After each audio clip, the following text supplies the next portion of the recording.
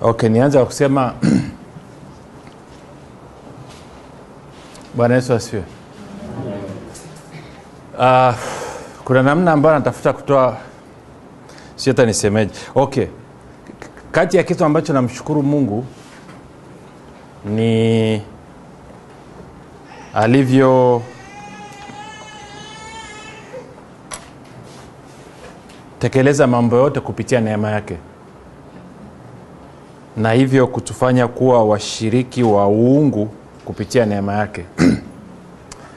Na pia namshukuru kwa sababu alinifundisha na kuniwezesha nifundishe wengine. Lakini mara nyingine nimekuwa niki nakosa maneno sahihi lakini niki kama najuta kwa nini nimefundisha neema? Ni bora ningewacha watu kwenye torati. In fact inafika mbali zaidi naona kaa vile neema imfai mswahili. Mswahili inamfaa torati. Sasa najua mnakuwa shocked lakini ukweli ndio huo. Si neema ilivyokuja imekuja ili kutuwezesha tuishi kwenye klasi ya mungu kutuwezesha tuenende kwenye levo ya mungu sio kutuporomosha sawa? Na neema imekuja ili kutuwezesha tuweze kuishi. Si biblia inasema mungu sio mungu wa machafuko. God is the god of order. Lakini problem ni kwamba ukishafundisha watu neema wanaanza kuishi kama manyang'au. Hawaheshimu tena hakuna oda hawajiheshimu wenyewe hawaheshimu utaratibu hawaheshimu chochote. Na na miaka sahivi hivi karibu mitatu inanipa shida. Kila siku narudi kwa bwana yesu kumuuliza inakuwaje? Ndio maana tunataka tuangalie huduma ya roho.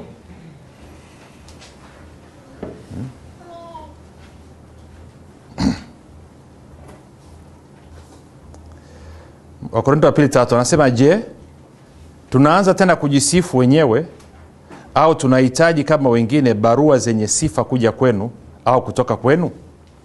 Ninyi ndinyi barua yetu iliyoandikwa mioyoni mwetu.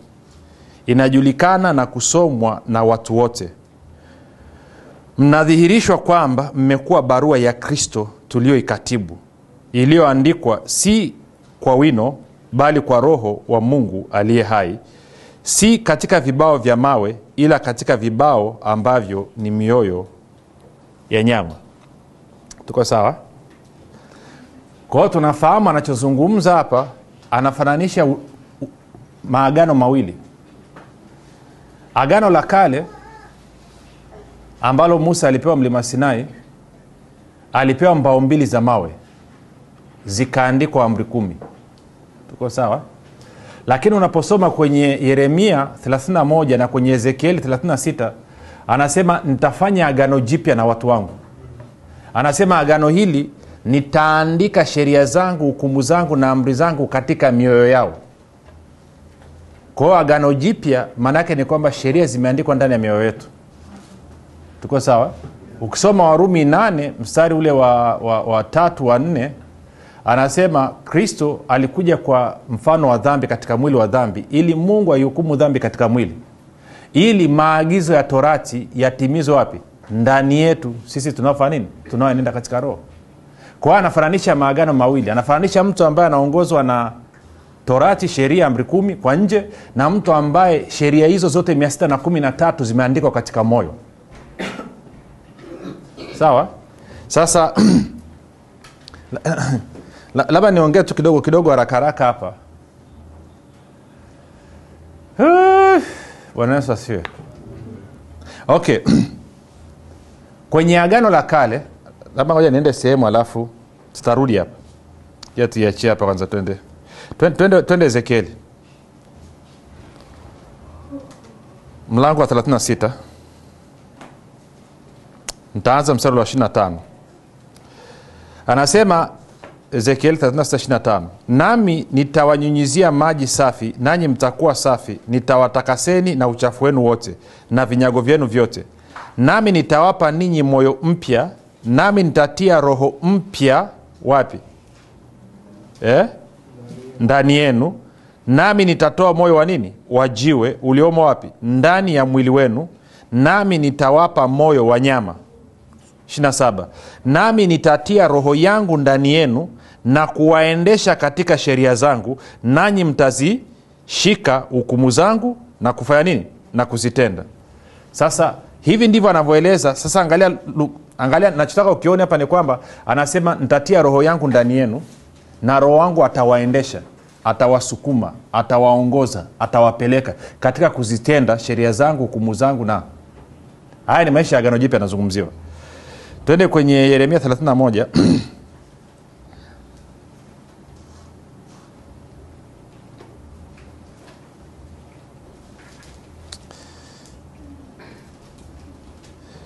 tukianza mstari kama wangapi? Eh, eh, kusema mstari wa ishiri tisa. Anasema siku zile hawatasema tena baba za watu wamekula zabibu kali na meno ya watoto wao yametiwa ganzi 30 bali kila mtu atakufa kwa sababu ya uovu wake. Kwa azungumzia hiyo hiyo no, 31 anasema angalia siku zinakuja asema bwana nitakapofanya agano jipya na nyumba ya israel na nyumba ya yuda. Si kwa mfano wa agano lile nililolifanya na baba zao katika siku ile nilipowashika mkono ili kuwatoa katika nchi ya misri ambalo agano langu hilo walilivunja ingawa nalikuwa mume kwao asema bwana bali agano hili ndilo nitakalolifanya na nyumba ya israeli baada ya siku zile asema bwana. Nitatia sheria yangu ndani yao na katika mioyo yao nitaiandika nami nitakuwa mungu wao nao watakuwa watu wangu. Naiona hiyo kitu? Okay. Sasa kwa lugha nyepesi alichokusudia mungu ni kwamba maisha ya agano jipya tunaishi kwa kuongozwa na roho sawa? Na roho anakuongoza kwenye nini? Eh? kwenye hicho ambacho kimeandikwa kwenye moyo wako. Kwenye moyo wako kumeandikwa nini? Ezekieli 36 twende. Mstari wa 27 alafu tusome wote kwa pamoja. Moja mbili tatu twende. Amjafika ezekieli 36 moja mbili tatu twende. Neno la bwana likamjia yeremia. Ezekieli 36 mstari wa 27 Ehe.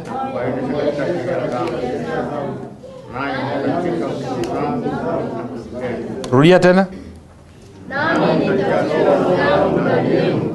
Na kuwaendesha katika sheria zangu. Nani mtazishika hukumu zangu na kuzitenda okay kwao kama unaongozwa na roho nini kinatokea? Hmm? eh? nini? Watu kaa wataki tena. Sio grace hiyo. Okay, ngoja nikuonyeshe kitu kimoja. Ili tufafanue. Twende. Eh, kazi kweli kweli. Sikiliza iko hivi. Na magrace preachers mlisikilize maisha tunayoishi tunayoita maisha ya neema kwamba tuko kwenye agano jipya ambalo ni agano la neema. Tunaishi kwa imani kupitia kuwezeshwa na roho mtakatifu. Sawa? Sawa? Paulo katika kuhubiri kwake na kufundisha kwake alizungumza zaidi habari za roho mtakatifu kuliko kitu kingine chochote. Tuko sawa? Lakini sio hivyo tu. Paulo alijikita zaidi kwenye kuzungumzia wakristo kuishi kwa imani. Amefundisha haki ya imani kuliko kufundisha neema na ndio maana katika movement maana unaona movement sasa mnisamia kwa lugha yangu movement ya neema unaiona inakuwa ni ovyo. Lakini movement ya faith movement unaona walikuwa wana matokeo. Moja mwalimu atusaidia hapa. Na? Nadanganya. Movement faith movement walikuwa wana matokeo. Kwa sababu imani ya kweli ni mwitikio wa kile ambacho mungu amefanya kupitia neema neema huna mchango wote kwenye neema. Neema ni yale mema yote ambayo mungu amekwisha kuyafanya kwa niaba yako pasipo kushirikisha kupitia msalaba wa nani? Wa kristo. Kwao imani unatumia imani kuitikia kupokea. Unapokubaliana na kupokea. Kwa hiyo wale wote waliokuja na first movement wakafundisha habari ya imani wamekuwa na outstanding results wamekuwa na matokeo ya kushangaza. Na wale wote ambao wameng'ang'ana kufundishana neema imekuwa ni shida ni struggle na ndio maana napenda nani anaitwa andrew wamak ana somo lake anasema balance between grace and faith. Uwezi ukaacha. Si imani ukielekeza kwenye juhudi binafsi haikupi matokeo. Na neema nayo ukaelekeza kwenye juhudi binafsi bila imani nayo haikupi matokeo. Na wengine tulivyosikia neema tumefurahia imetoweka huru. Oh, haleluya haleluya haleluya haleluya. Sindio eh? Alafu ghafla tukaanza kuishi kaa paka kwenye kochi. Na najua paka anavyoishi kwenye kochi? Na amekuona paka mjai kuona paka? Wangapi wajaga analala anajiviringisha namna hii? Alafu akiamka anajilamba anajilamba anajilamba anajilamba akimaliza alafu anachapa usingizi. Si ndo tumekuwa namna hiyo kwa sababu ya grace? Sasa anasema maisha ya gano jipya ni mungu anaandika sheria zake hukumu zake na amri zake katika moyo wako. Alafu anakupa roho wake. Roho wake ndiye anayekuongoza anakuendesha katika kuteke... in, words unatimiza torati sheria whatever kupitia kuwezeshwa na nani? Na roho mtakatifu. Kwao sio juhudi zako wewe. Wewe una rest. Roho ndio anayekuwezesha. Na hilo hicho hiyo ndo kiu ya mungu. Ndomana anasema ili warumi 84 ili maagizo yote ya nini ya torati yatimizwe wapi? Ndani yetu. Sisi tunaoenenda katika nini? Katika nini? Paulo anasema enendeni katika nini? Katika roho. Amtatimiza kamwe tamaa za nini? Kwa maneno mengine napoenenda katika roho roho mtakatifu ananiwezesha swala la kutimiza amri na sheria za mungu wala haniumizi kichwa. In fact wala sicho anachokiwaza mbona kama mpo eh? amtaki tena hapa teke mlango wazi. Seja ameturudisha kwenye torati. Okay chapa mwendo. Nataka nikusaidie. Tuko sawa? Sasa moja nikuonyeshe kitu kimoja kwa haraka haraka tuendelee. Kwamba kiu ya mungu tangu mwanzo tangu mwanzo kabisa mungu anaumba dunia hii kiu yake ni mwanadamu aongozwe na roho wake. Ndo kiu ya mungu tangu mwanzo. Akaanza na adamu adamu yuko na eva sindio eh? wakamsikiliza ibilisi. Wakapaja vurugu ikaingia. Mwanzo sita mungu anaangaika na hao wanadamu. Tunafahamu anasema wana wa mungu wakaanza kuoa wana wa binadamu. Maanake ni kwamba wale waliokuwa wana roho ya mungu ndani yao wakaanza kuoa binadamu ambao walikuwa hawana roho wa mungu. Sasa kama unadhania dunia ilianzia na adamu umeliwa. Soma bibilia yako vizuri adamu ni mwanzo wa kristo sio mwanzo wa dunia. Kiweka tabasamu kubwa itakusaidia. Usinshangaa, unashangaa nini? Okay wakati kaini anafukuzwa mbele ya mungu walikuwa kwa ngapi adamu abeli eva na kaini. Abeli amekufa amebakia kaini adamu na eva. Kwa hiyo seti alivyozaliwa unadhani alizaa watoto na nani? Na mama yake eh? lakini kaini anavyofukuzwa mbele ya mungu anasemaje? Wakiniona wataniua. Wakina nani? Wakina nani? Walikuwepo watu wengine. Sasa tunafahamu baada ya gharika floods. Watu wengine wote walikufa ukabakiwa uzao wa adamu tu kupitia nuhu. Ndio maana tunasema adamu ni mtu, mtu wa kwanza kwetu. Kwa sababu wale wengine wote walifanya nini? Walikufa. Sasa mwanzo sita mungu analalamika anasema roho yangu haitaendelea tena kushindana na mwanadamu. Tafsiri nyingine anasema haitaendelea kukaa ndani ya mwanadamu na kushindana na mwanadamu. Kwa sababu yeye ni nyama because he is flesh. Sawa? Kwa hiyo anasema nitaondoa roho yangu. Kwa hiyo mwanadamu anapingana na roho wa mungu tangu mwanzo. Kwa roho akachapa mwendo. Mungu akaja kwa abrahamu akaambia nataka kuingia agano na wewe.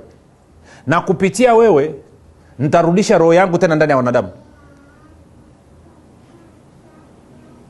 Ona kama hata wanyelewe. Tena matendo mtume saba. Sasa nataka uone stefano kabla ya kupigwa mawe. Matendo ya mtume saba. Angalia kitu ambacho stefano anawambia taifa la israeli. Matendo ya mtume saba hamsini na moja. Anasema enyi wenye shingo ngumu msiotairiwa mioyo wala masikio. Siku zote mnampinga roho mtakatifu kama baba zenu walivyofanya na ninyi ni vivyo hivyo. Kwa always kumekuwa kuna bato kati ya mwanadamu na roho mtakatifu. Roho mtakatifu ametumwa na mungu aje aongoze watu. Mwanadamu anatake anataka kwenda na akili zake. Kwa hiyo kwa lugha nyingine hata hiyo torati waliopewa kwanza ukisoma ma- kumbukumbu la torati mlango wa sita sheria torati ilitakiwa waishi kwa imani. Ama mjuagi kitu? Si ukisoma kumbukumbu torati mlango wa 30 torati sheria haikutolewa ufuate take kwa imani. Na kama ni kwa imani wangeongozwa na roho mtakatifu. Lakini wakakataa. Na denja anayoiona leo hii naona kitu hicho hicho. Kama anaona kama tumefika mahali hatutaki kuongozwa na roho. Tunataka kujiongoza wenyewe. Dhambi ile ile iliyokuwa ikitafunwa wanadamu miaka na miaka ndo naiona leo hii kwenye kanisa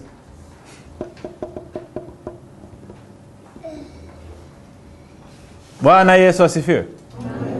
Ukitoa labda mtu mmoja wawili watatu hapa ni wangapi akiamsha usiku wa manane na roho aombe anaomba?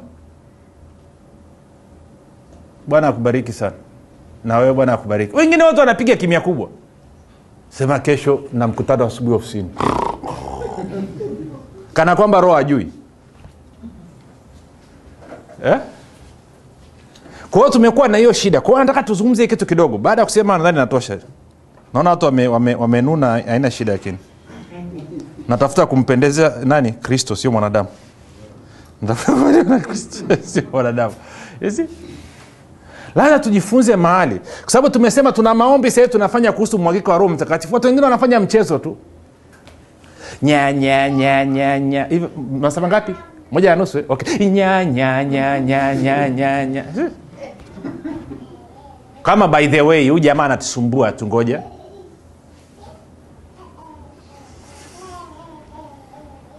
nisaidie mwanangu. Twende. Wakorinto wa pili tatu. Kwa hiyo tunaendelea. Mstari wa nne.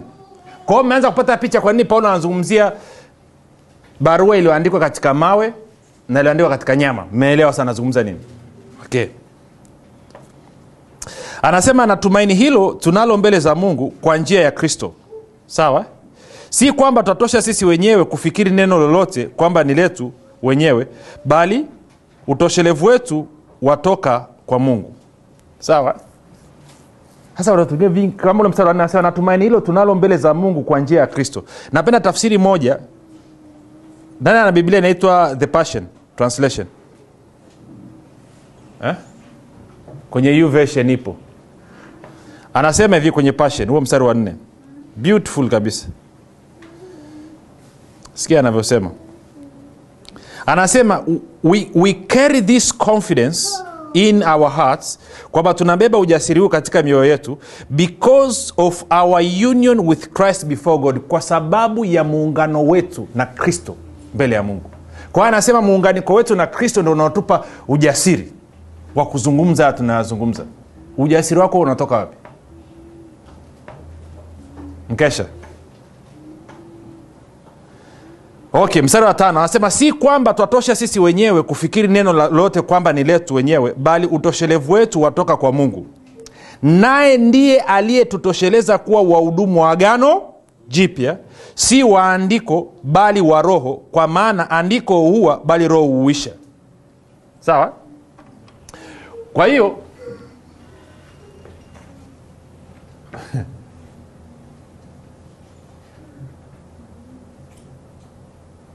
tungeweza kusema hivi huduma ya agano jipya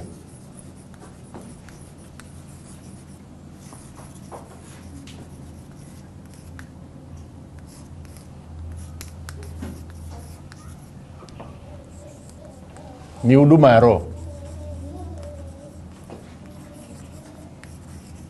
Sawa? Sawa jamani? Huduma ya agano jipya ni huduma ya nini? Ya roho ndicho ambacho mungu alikusudia. Sawa? Anasema kwa maana andiko yani anazungumzia torati huua bali roho huuisha. Kwa hiyo kwa maneno mengine tunavyozungumza andiko tunazungumza nini? Tunazungumza kitu chochote ambacho hakina roho. Kitu chochote ambacho hakina roho. Fundisho lolote ambalo halina roho. Maelekezo yote ambayo hayana roho. Kazi yoyote unayoifanya ambayo haina roho. Mwisho wake ni kifo mbona mtabasamu? Ama nimekosea nini? Hivi ni kanisa ndo hili eh?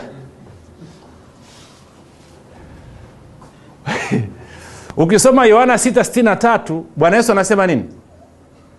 Roho ndio itiayo nini? Uzima. Mwili haufai kitu. Maneno niwaambiayo ni roho tena nini? Ni uzima chochote kwenye maisha yako ambacho hakina touch ya holy spirit ambacho hakina mguso wa roho mtakatifu chochote ambacho roho mtakatifu hana udhibiti katika maisha yako ni kifo.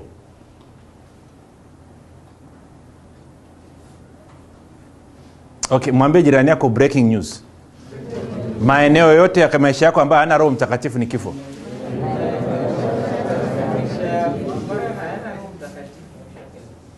Watu wanajikausha eh? si, mimi na wewe tulivyoumbwa na mungu hatukuumbwa tujitegemee? Tuliumbwa tuongozwe.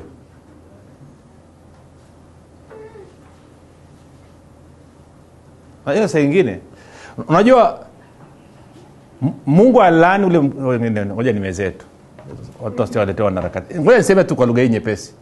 Alikuja kuanzisha porojo ya equality ya usawa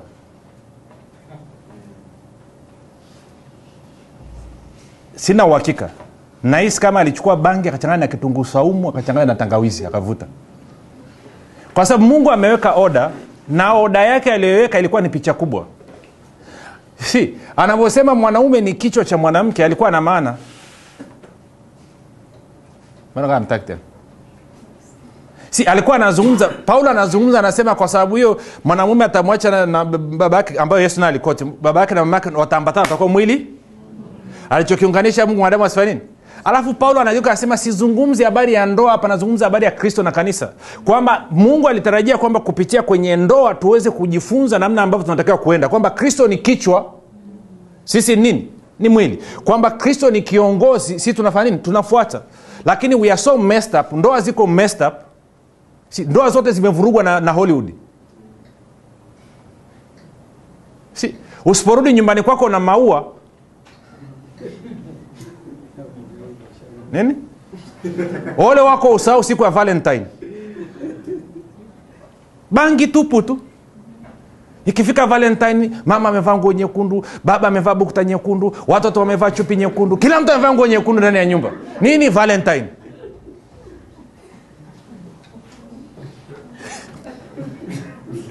Eh?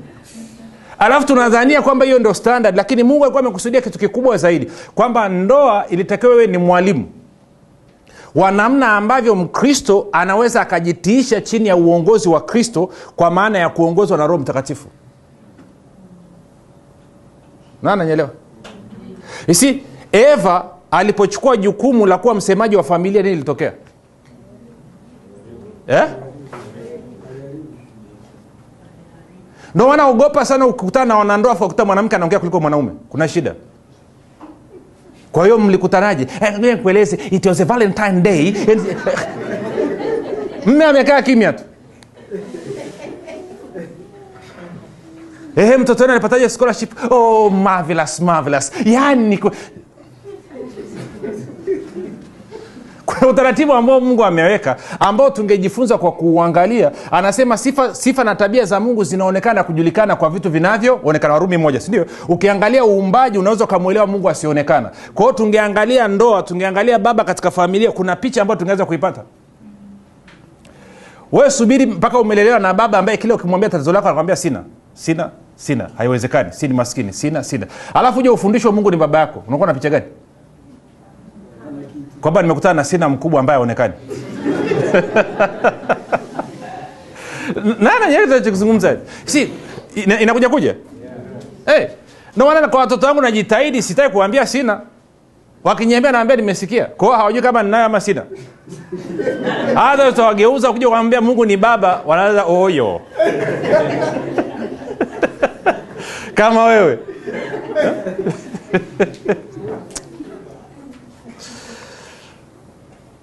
kwa hiyo anasema huduma ya gano jipya ni huduma ya roho kwa sababu roho inauisha roho inatia uzima si ndio? Eh? roho inati, inaleta nini? Inaleta uzima. Sawa? Vingine vyote vinaua. Sawa si sawa jamani kwa hiyo anavyozungumzia torati pia tunazungumzia self righteousness eh, juhudi binafsi kujihesabia haki kuona kwamba wewe unaweza kila kitu mwenyewe. Na hii ndio shida ilipo. Lakini problem ni kwamba saingine tunataka roho atende kazi katika maisha yetu lakini tuna mambo fulani fulani ambayo tunayo katika maisha yetu ambayo yanashindana na roho. Bora katutaki eh? Ya wengine wengine mmekaa mnasu kama nawaona. Kama nawaona vile yani. Ukitoka ofisini ama ukitoka nani darasani unarudi chumbani kwako ama nyumbani kwako. Yaani kaa nakuona vile ambavyo na roho mtakatifu mnapiga mbio. Wote mnapiga mbizi mnarukia simu facebook. Roho anataka kuzuia usisome facebook mpige fellowship wewe unataka kuwai facebook. Kwao kaa nawaona vile mkiruka kwenye kocho "Ah!"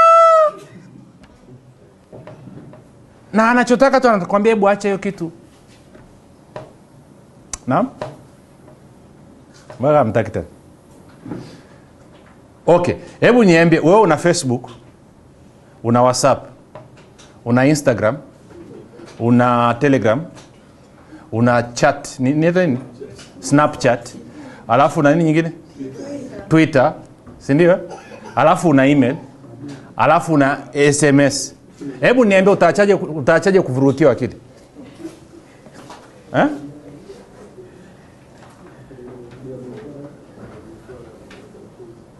familia ikitoka ikienda kula mahali ama wamealikwa kwenye harusi. Baba mbyang mama mbyang watoto mbyang huyu amegeukia huku mbyang ndo wametoka waenda dina hivyo. Hawazungumzi mwanzo mwisho. Kaa mtaki tena. Eh? Na waboa eh. ukweli ndio huo. Vipi tena? Kwamba nesna amejitolea. Njoo kaa karibu. Upa, upate maji ya baraka toka kwenye mdomo wangu. Haleluya. Tunaendelea. Okay tuendelee. Tunamalizia. Kwa hiyo tumeitwa kwenye huduma ya roho. Sasa twende tukasome wote ile yohana 663 Nadhani nimeisema tu lakini naona.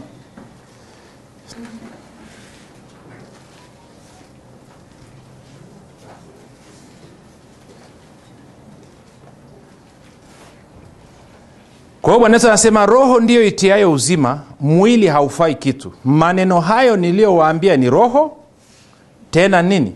Ni uzima the flesh profits nothing. Mwili haulipi. Hmm? ndoa saa nyingine huwa tunafunga. Ama? Okay tunakaa nja wengine wanakaa nja lakini facebook hawafungi. Wala whatsapp. Hmm? wangapi wamewahi kugundua kwamba ukiwa umefunga unamsikia mungu zaidi unadhani nani amebadilika kati ya wewe na mungu eh? na bwana mungu akasema tumbo na chakula ataviangamiza hmm? mwingine anapiga ugali kubwa na maharage nene alafu enda kwenye maombi utasikia nini zaidi ya tumbo kunguruma eh? kwa hiyo anasema mwili haufai kitu roho ndio itiayo nini uzima. Kwa hiyo ina maana natakiwa nifanye maamuzi ya kwenda kwa roho kumtegemea roho. Sasa baada ya kusema hayo turudi kule kwenye wakorinto wa pili tatu nikuonyeshe kitu kidogo alafu tutapiga hatua. Twende mstari wa kumi na kumi na mbili. Anafananisha huduma ya roho na huduma ya ama kumi na- eh, mbili. Huduma ya roho na huduma ya torati ama sheria. Anasema basi kwa kuwa mna taraja la namna hii twatumia ujasiri mwingi nasi si kama musa alivyotia utaji juu ya uso wake ili kwamba waisraeli wasitazame sana mwisho wa ile iliyokuwa ikibatilika yani utukufu.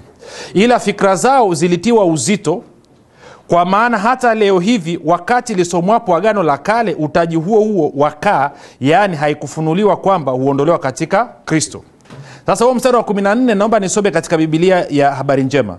Makabayo. Makabayo ni majinius hawa jamaa. Sikia walivyosema. Lakini akili zao zilipumbazwa mpaka leo hii lisomwapo agano la kale. Kifuniko hicho ama utaji bado kipo. Kifuniko hicho yani utaji kitaondolewa tu mtu anapoungana na kristo. Sawa sasa sijaanza kufundisha habari ya hiyo ya union nikitoka nikitoka huko na kuenda nitaanza kufundisha. Kwa sababu ukristo sio neema tu wala imani tu. Ukristo ni zaidi ya hapo. Bottom line ya ukristo ni muunganiko wako muungano wako na mungu. Na kwa sababu hatutambui kwamba tumekuwa mmoja na mungu ndio maana tuna mabishano chungu mzima. Kwa anasema ninapoungana na kristo utaji kwenye moyo wangu unaondoka. Utaji lugha nyingine ya utaji ni kutokuamini ugumu wa moyo macho kutiwa giza ama macho kuwa nini kutokuona ya, ya rohoni na kadhalika. 15 ila hata leo torati ya musa isomwapo utaji huvikalia mioyo yao. Ndio maana epuka makanisa yanayofundisha torati hata kama ni kidogo kiasi gani. Chachu kidogo uchachua nini? Unasema "Ah, chachu kidogo tu si naomba nikuulize swali. Nikikuwekea pilau alafu akwambia by the way mtoto wangu alikuwa anacheza hapa akaingiza mavi ya paka kidogo kwa hiyo kwa hiyo unakula? Si mavi kidogo tu. No? kinyesi kidogo tu. Si unakula? Auli? Okay paulo anahesabu nahesabu mambo yote niliyofanya kwa sababu ya kujaribu kutimiza torati kuwa ni nini? Kwa hiyo na wewe unajimiksi na nini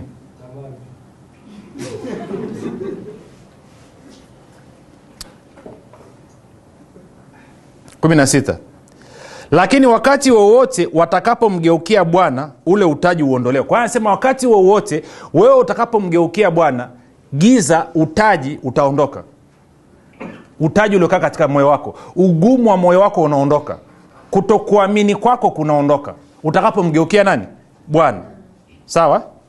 Alafu 17 anakwambia basi bwana ndiye roho. Kwa hiyo inamaana bwana anayezungumzwa hapa anatakiwa umgeukie nani roho mtakatifu. Kwa hiyo wakati wowote utakapoacha kutegemea juhudi zako binafsi kwa maana ya torati sheria kujihesabia haki na ukaamua kumgeukia roho mtakatifu akuwezeshe anasema ugumu wa moyo unaondoka. Kutokuamini kunaondoka. Giza lililoko ndani mwako linaondoka. Kwa maneno mengine wakati wowote utakapoamua kumgeukia roho mtakatifu eneo lolote la maisha yako ambalo umekwama ule mkwama unaondoka imeeleweka okay. Mwa- hebu nisaidie kumwambia jirani yako inaonekana wewe unahitaji kumgeukia roho mtakatifu. Nao mkodolee macho vizuri ili ajua kwamba umeona matatizo yake alionayo yale. Eh? mwambie unahitaji kumgeukia roho mtakatifu. Hmm? hamna shortcut nyingine. Anasema wakati wowote utakapomgeukia bwana na bwana ni roho mtakatifu utaji giza ugumu wa moyo kutokuamini. Vyote unavyoita machungu ma, vyote vinaondoka. Na bwana ni roho mtakatifu. Kama una eneo lolote umekwama halilipi halikupi matokeo mgeukie nani? Eh? mgeukie nani? Kwa sababu mwili haufai nini? Roho ndio itiayo nini sasa baada ya kusema hayo hata tuangalia mambo machache yanayohusiana na roho mtakatifu katika maisha yetu ya kila siku. Taangalia idea kama nne tano. Labda tunaweza tukasema kwa nini roho takatifu wa nini? Kwa nini? Sasa leo tutaanza kwa engo tofauti. Sawa tumezoea kulisha addiction yenu. Ya revelation revelation personal personal personal. Na muifanyie kazi. Kwa leo ngoja tuwe na upendo na wengine. Tabasamu okay. Twende yohana 16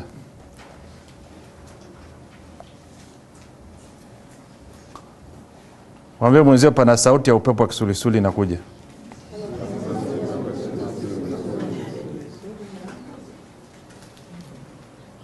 sasa kama bati lako jaezeka vizuri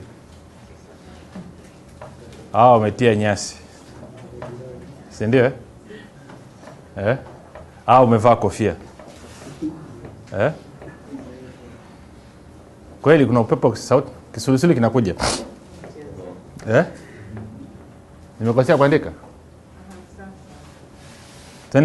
twende yohana 16 mstari wa saba okay bwana yesu anaongea na mitume. Amekaribia kwenda msalabani na baada ya hapo kurudi kwa baba yake. Anasema lakini mimi nawaambia iliyo kweli. Okay kwanza tusikilizane kwanza. Wangapi wanakumbuka waefeso 411 na mosi anasema na alitoa wengine kuwa nani? Mitume manabii wainjilisti na wachungaji ambao nani? Ni walimu. Kwa kusudi gani? La kuwakamilisha watakatifu. Ili watakatifu wafanye nini? Wafanye nini? Wafanye nini? Kwa kazi ya nini? Ya huduma. Ili nini? Mwili wa kristo fanye nini? Upate kujengwa. Kwa hiyo ina maana kila mtakatifu ameitwa kufanya huduma. Kila mtakatifu ana huduma. Ukienda wakorinto wa pili tano kumi na nane na kumi na tisa anasema tumepewa huduma ya upatanisho na kwamba tumewekewa ndani yetu neno la upatanisho. Kwao kila mtu hapa ameitwa kwenye huduma ya upatanisho. Sawa? Ama si sawa? Eh? Eh? tunapatanisha maeneo matatu makubwa. Tunapatanisha roho za watu na roho ya mungu. Yeye aliungwa na bwana amekuwa roho moja. Tunapatanisha nafsi za watu na kweli ya kristo ama kweli ya mungu yakobo 1 lipokeeni lilo neno lilopanda mioyoni mwenu ambao lina uwezo wa kuokoa nafsi zenu. Ko roho tunaipatanisha na roho ya mungu nafsi tunaipatanisha na kweli ya mungu ama kweli ya kristo. Na miili tunaipatanisha na uzima wa yesu kristo. Kwa kupigwa kwake hiyo ndo huduma ya upatanisho inayofanyika tuko sawa? Tuko sawa? Ndio kazi yako kila siku kwa edha unaweza kukutana na mtu ana changamoto ya afya kukutana na mtu ana ufahamu kukutana na mtu hajaokoka ama hajazaliwa mara ya pili sawa? Sasa nataka tuangalie hiyo huduma inafanyikaje. Ndio maana naita huduma ya agano jipya ni huduma ya upatanisho. Sindio huduma ya agano jipya pia ni huduma ya nini? Ya upatanisho. Kwa hiyo yohana 167 anasema hivi lakini mimi nawaambia huyu ni bwana yesu anaongea na mitume lakini mimi ninawaambia iliyo kweli yawafaa ninyi mimi niondoke kwa maana mimi nisipoondoka huyo msaidizi hatakuja kwenu. Tunafahamu roho kama msaidizi alizungumzwa kwa mara ya kwanza kwenye yohana 14 mstari wa 16 17 anaitwa roho wa nani? Wa kweli. Kwa hiyo bwana yesu anasema inalipa kwenu mimi nikiondoka. Mimi nisipoondoka roho mtakatifu aje kwa lugha nyingine bwana yesu anawambia mitume kuendelea kwangu mii kukaa na ninyi ni hasara kwenu mimi nikiondoka roho mtakatifu akaja italipa. Sawa? Kwa hiyo nataka upige picha. Awa jamaa walikuwa na yesu kila siku. Walipokuwa kwenye boti nataka kuzama wakamwamsha yesu yesu akatuliza bahari. Wakati mwingine yesu akatembea juu ya maji. Walipopungukiwa na chakula nyikani bwana yesu akachukua samaki wawili na mikate mitano wakala wanaume zaidi ya elfu tano. Na wanawake na watoto kuchanganya labda watu elfu thelathini walipoenda kwa lazaro wamekufa siku nne yesu akamnyenywa walipoenda kwenye boti ya petro wamekosa samaki usiku kucha akawambia tupa nyavu upande kule. Wakapata, nye- wakapata samaki. Sindio eh? walipoombea mtoto mwenye kifafa ikawashinda yesu akaja akamfungua yule mtoto. Sindio alafu ghafla huyu yesu ambaye amekuwa ni kila kitu anasema sikiliza inabidi mi niondoke nisipoondoka mimi walipi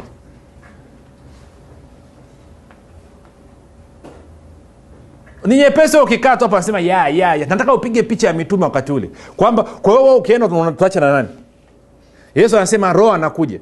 Kwa hiyo yesu anawambia nini? Anawambia roho ni wa muhimu zaidi kwenu na atawapa faida zaidi ninyi kuliko uwepo wangu mimi. Sasa kama bwana yesu mwenyewe amesema hivyo mimi na wewe tunatakiwa tumkumbatie huyu roho kweli kweli yaani tutie bidii kweli kweli. Maake amesema mimi nisipoenda haji kwa kiingereza anasemaje mstari wa saba? It is to your advantage. Sindio maanake ni kwamba nisipoenda it is to your disadvantage. Kwamba nikienda inalipa nisipoenda hailipi. Wangapi leo hii mmekaa mna roho mtakatifu ndani yenu lakini mnataka yesu aje?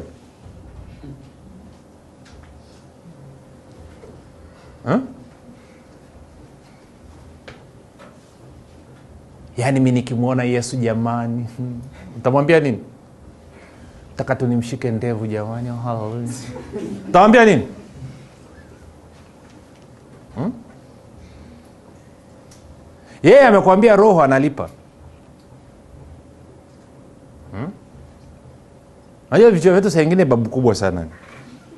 Hmm? ikaendaga mahali nikaa nafundisha kwenye mkesha miaka hiyo usiku. Alafu jamaa hawanitaki kwa wale watumishi wa pale kila nikiongea niki- sentensi tano jamaa anaanzia pambio kwa hiyo nabidi nikae kimya. Anaimba mpaka anachoka kinyamaza wanasema endelea kufundisha. Nikiongea sentensi tano kumi jamaa anaanza kuimba. Na wimbo wake ni huo mmoja tu. Mungu wa eliya akisema amesema. Alafu ananizunguka yani. Kwamba anajibu kwa moto. Kwa hiyo wewe moto unakuja sasa hivi hawataki kusikia kitu kingine chochote. Kuna watu wampigia kambi na mungu wa agano la kale. Mungu abaliki kumbuka. Lakini yesu anasema roho mtakatifu inalipa zaidi. Mnamhitaji roho mtakatifu. Nisipoenda mimi mambo hayataenda katika maisha yenu. In your personal life katika maisha yako ya kila siku unamhitaji roho mtakatifu kuliko unavyoweza kufikiri wewe.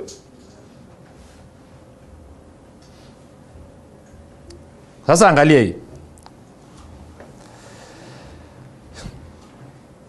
nane anasema naye akiisha kuja yani roho mtakatifu huyo atauhakikishia ulimwengu kwa habari ya dhambi.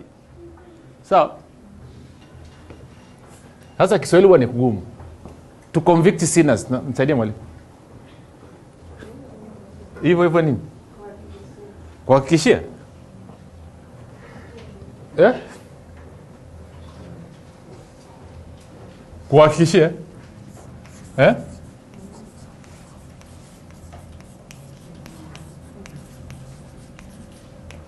Kuhakikishia kuhakikishia ulimwengu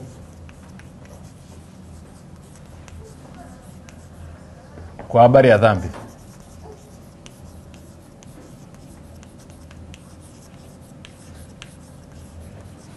Sawa? Sindio ambayo ya pili in, inaambatana na hii moja ni vyeke vyote pamoja hapa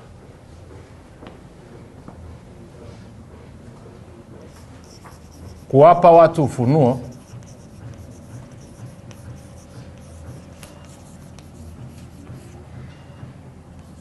Wa yesu kristo.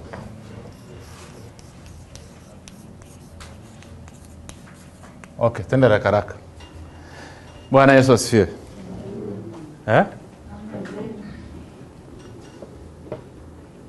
swali.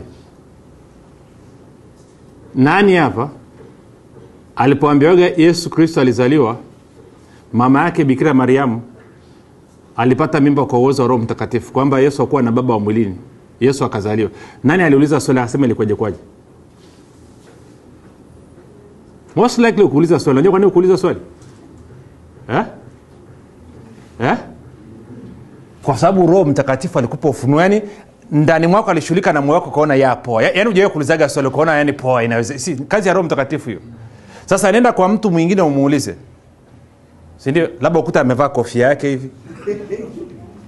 Alafu umwambie. Anaanza anakwambia mungu si kiumbe hana watoto wazai. Yanaanza kuja maswali utitiri chungu mzima. Ni kwa sababu roho ajampa revelation bado. Kwa hiyo roho anahakishia, si. Okay. Unajua saa tunadhania kwamba tuki- tukichukua vipeperushi tukaenda na kwenye redio tukapita mtaa kwa mtaa tukaenda tukashuhudia nyumba kwa nyumba wa, watu wataokoka. Ngoja nikwambie kitu bila roho mtakatifu forget it. Sahau. Sahau. Miaka mingi. Naye shamsikia mzee anaitwa biligramu eh? wangapo anajua biligramu ni, ni gwiji wa injili kama yohana 316 anasemaje yohana 316 anasemaje Ehe. Ehe. Ehe. Ehe. unajua alisababisha huo unajua mstari ni nani biligram ndo alikuwa anahubiri kwa zaidi ya miaka 60 kila siku akisimama ahubiri mstari mwingine wowote zaidi ya yohana 316 ana semina ya wiki nzima ya mwezi mzima ni yohana 316 tu. Ahubiri mstari mwingine wote huo yeye ndo amefanya mstari ukawa maarufu. Ndio maana hata huo unaukariri kila mtu "Eh, kwa maana jinsi mungu ulimwengu. Si ni yeye huyo mzee. Sasa mwanzo mwanzo wa kuhubiri kwake alianza kuhubiri vizuri watu wakawa wanaokoka watu wakawa wanaokoka. Alafu samuel sama akapata akili ya kijenius akaanza kuangalia watumishi wengine wanavyofundisha na kuhubiri. Wana, wanakuja na, na, na, na, na e, anakuja na tafsiri ya kigiriki sijui concordance sijui na kitu gani anachukua neno unalipasuapasua unalichambua unafanya nini sindio alafu akaanza kushawishika kwamba kuhubiri kwake inabidi awe wanasema nini? Wanasema on fire evangelist kwamba unahubiri ili una, unatokwa na jasho na kitambaa kirefu haleluya! Unakimbia kwa haleluya! Haleluya! Eh. alafu siku moja amemaliza mzee mmoja akaambia ise you make a very poor holy ghost. Kwamba ni roho mtakatifu mbovu kwelikweli huwezi ukawahakikishia watu watu kwa habari ya dhambi. Hiyo ni kazi ya roho mtakatifu. Na saingine tunafanya makosa tunaenda kumshuhudia mtu tunaenda kuongea naye. Tunajaribu kumlazimisha tunajaribu kumpelekesha tunajaribu mpaka povu linatutoka hiyo ni kazi ya roho mtakatifu huduma yako ni huduma ya roho mtakatifu. Kazi yako wewe ni kumpeleka roho mtakatifu kwa huyu mtu ambaye hajaokoka. Alafu uanze kuzungumza na ukifika pale umsikilize. Wengine bado wana- wanahubiri ile ya kizamani. Ndugu na mpango gani na maisha yako? Hivi ukifa leo utaenda wapi? Mahubiri ya yaani mkiingia kwenye basi tu mkikaa akisimama jamaa yani. Kap. mna mpango gani? Leo ukifa utaenda tulikuwa tunawashusha kila siku kwenye basi kwamba ukimwachia roho mtakatifu anajua namna ya kuzungumza na huyu mtu. Yeye ndo anaweza kumwakishia. Si, moja nikwambie uwepo wa roho mtakatifu yuko mzee mmoja anaitwa chasfini nawe kumsikia? Chasfini siku moja ameamua kwenda kwenye kiwanda nadhani sikuwa kiwanda cha nguo si inatengeneza vitambaa sio kitu gani. Kaamua kwenda kumwona binamu yake ana mazungumzo naye. Alafu alivyoenda bahati mbaya mlango aliomfungulia anapita kwenye sehemu ambao kuna zile mashine mashine hizo mnajua pamba ikichambuliwa. Kwa hiyo kuna watu alafu wakati anapita akaona zile mashine zikamvutia. Kwa hiyo kabidi asimame aangalie zile mashine kwamba zinafanya kazi yani kwacha kwacha kwacha kwacha kwacha. Kwa hiyo anashangaa mashine. Alafu ghafla wale wote wanao wamama kina mama na kina baba wanaendesha mashine kila mmoja anaacha anamwangalia. Kwa hiyo mashine zinaisha zenyewe zinaanza kukosea nyuzi zinaenda pembeni wengine wanachoma vidole wengine kwa hiyo anawashangaa wamekuwaje? Baada ya muda kiwanda kizima kinalia. Kinasema si ni wenye dhambi ondoka kwetu. Na hajaongea alikuwa anashangaa mashine tu. Kwa hiyo mwenye kiwanda akaja alivyoangalia akasema mashine zote zizimwe. Yeye alikuwa hajaokoka. Akasema lakini huyu ni mungu mwinjilisi gonga maneno hapa. Kwa hiyo kiwanda zima kwanzia tajiri mpaka wafanyakazi wakaingia kwa yesu. Hmm? hiyo ni kazi ya nani? Ya roho mtakatifu. Hata usitaenda utaongea utatoa povu. Mishipa itakusimama kama shahidi wa yehova ama, ama msabato. Na bado watu waokoke matokeo yake utapigana utatukanana. Kazi ya kumhakikishia mtu bwana yesu asiwe kama kuna watu wako kwenye ndoa hapa especially wakina mama uhitaji vijembe vya chinchini. Kwa nini usiongee na roho mtakatifu kuhusu mmeo? Okay nimeongea na sehemu ambayo sio. Nilikuwa nawambia hivyo akina mama wote kule. Kwa baada ya kuja- na vijembe vya chinchini ongea na roho mtakatifu yeye ndo anaweza kumwaresti mme wako. Ha? Baada ya kwanza vijembe vyako. Kwamba umesikia sijui topiki gani kwenye redio ama kwenye tv unaongeza sauti unapanisha ili, asikie. Eh? Eh? ukiona hajasikia vizuri unakuja unasema ah, topic ya leo bwana. Ai, se dunia imeharibika mungu wangu. Ah, wanaume wa siku hizi bwana. Si baada ya kwanza kumpiga vijembe mme wako wakati wageni wamekuja unaanza kuchomekea diski kumuumbua labda udili na roho mtakatifu yeye ndo anaweza kumhakikishia huyo mme wako katika ile eneo ambalo unaona hayuko sahihi. Lakini pia ukienda mbele zake kuwa careful. Usije wakutane na radi.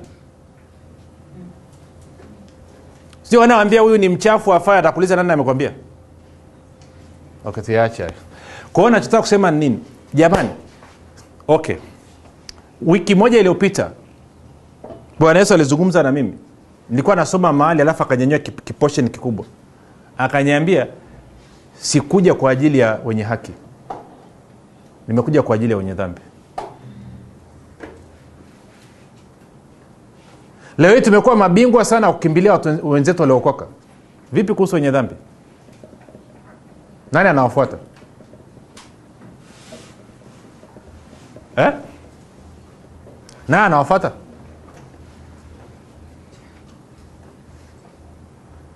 Eh?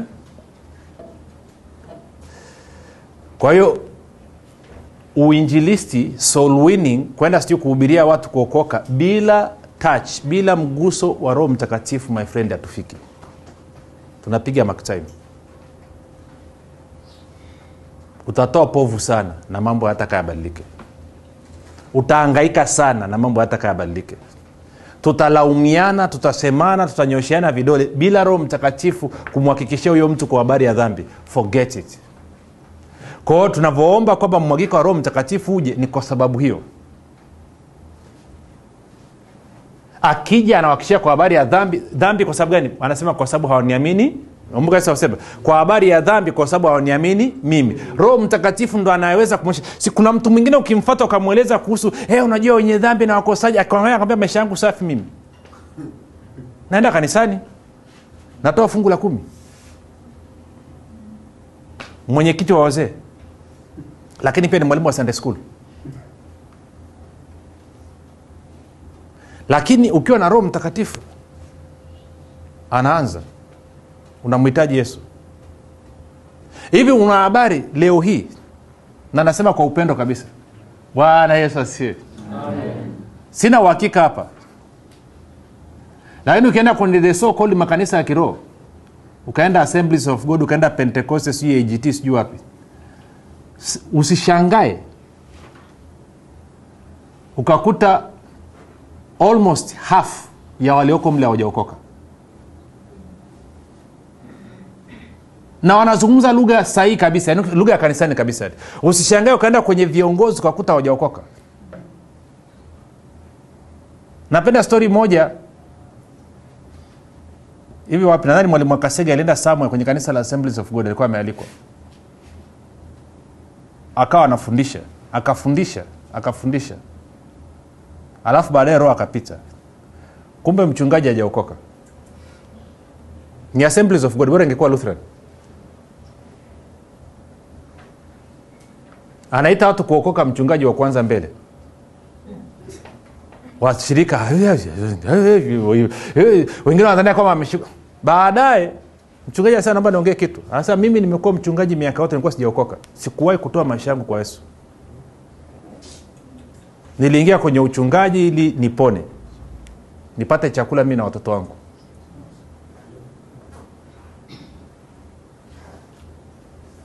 Hmm? na ananyelewa kwa hiyo tunahitaji moja kuonyeshe kuna mstari mmoja tunasimamia kwenye maombi. Sasa shida ni kusengine mistari hatuisomi tukaitafakari. Moja ni kuonyeshe mstari mmoja. Si tende kwenye tuko kwenye isaya 44 ngapi ngapi tunatumia isaya 44 kwenye ombi letu? Bora kama mtaki tena? Shida ndo hiyo tukizungumzia habari za kufikia nafsi za watu zopotea watu wananuna. Taka tuelezea namna ya kuwa matajiri namna ya kuvaa vizuri. Na hayo pia tutafanya tukipata nafasi tena isaya 44 mstari wa kwanza. Anasema lakini sikia sasa e yakobo mtumishi wangu na israel niliyekuchagua. Bwana aliyekufanya na kukuumba toka tumboni yeye atakaye kusaidia asema hivi usiogope e yakobo mtumishi wangu na wewe yesh, ye, yeshuruni niliye kuchagua sasa kuanzia mstari wa tatu ndo tumeingiza kwenye ombi. Anasema hivi kwa maana nitamimina maji juu yake aliye na kiu na vijito vya maji juu ya mahali pakavu. Nitamwaga roho yangu juu ya wazao wako na baraka yangu juu yao utakao wazaa. Nao watatokea katika manyasi kama mierezi mierebi karibu na mifereji ya maji. Naomba unisikie kitu kimoja. Anazungumza kumwaga maji kumwaga kutoa nini asa kutoa na vijito vya maji juu ya mahali pakavu. Wangapi wanafahamu? Bwana yesu anazungumza anasema moyo wako ni udongo ni shamba. Sindio ama sio hivyo? Sasa wengine mmekaa tunapokea neno hapa siku hadi siku revelation upon revelation. Okay naomba nikuulize swali. Ukichukua mbegu sasa hivi ukaenda ukaipanda kwenye jangwa la sahara ambapo hamna mvua inaota eh? Ukachukua vumbi hapo nyuma ya nyumba yako ukatia mbegu mondani zinaota okay wangapi wanajua neno la mungu ni mbegu? Na moyo wako ni shamba aka udongo. Eh? sasa hilo neno litafanyaje kazi ndani ya maisha, katika maisha yako kama alijamwagiliwa?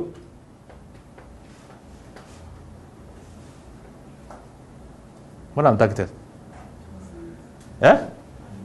si wengine wanasema oh mwalimu unajua unajua mi nimetoa fungu la kumi nimepanda na mbegu lakini sioni. Kwani umwagilii kwa maombi? Eh? mara ya mwisho kukaa na kuanza kumfanyia bwana ibada kumsifu kumtukuza na kuomba juu ya mbegu zako ulizozipanda ni lini? Ama wadhania mungu ni nani? Ni standard chartered atm machine. Ama crdb ukifika nwe nwe nwe nwe nwe nwe eh?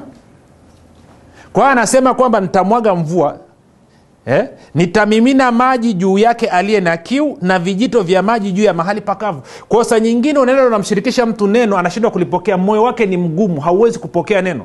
Kwa hiyo mimi na wewe tunavyoingia kwenye maombi tukaomba mwagiko kiswahili ni kigumu. Kwa kiingereza tunasema outpouring. Nini maana outpouring?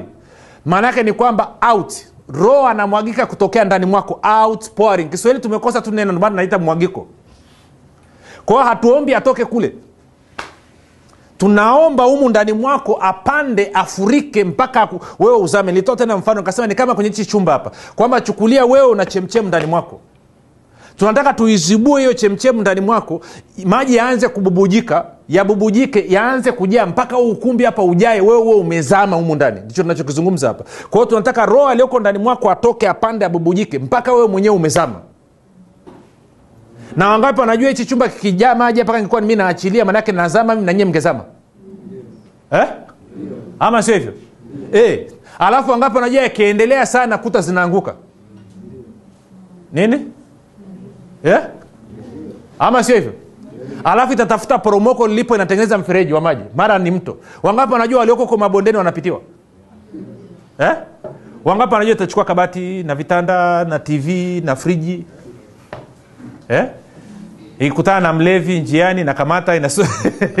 si, ndicho tunachozungumza tunasema outpouring tunataka atoke abubujike apande. Si unapoomba usiangalie mbinguni no, no, amini kwamba kama mwenyezi roho mtakatifu ngoma iko ndani mwako unaomba unasema ah, mimi nime, nimezaliwa mara ya pili cheza roho mtakatifu. No problem.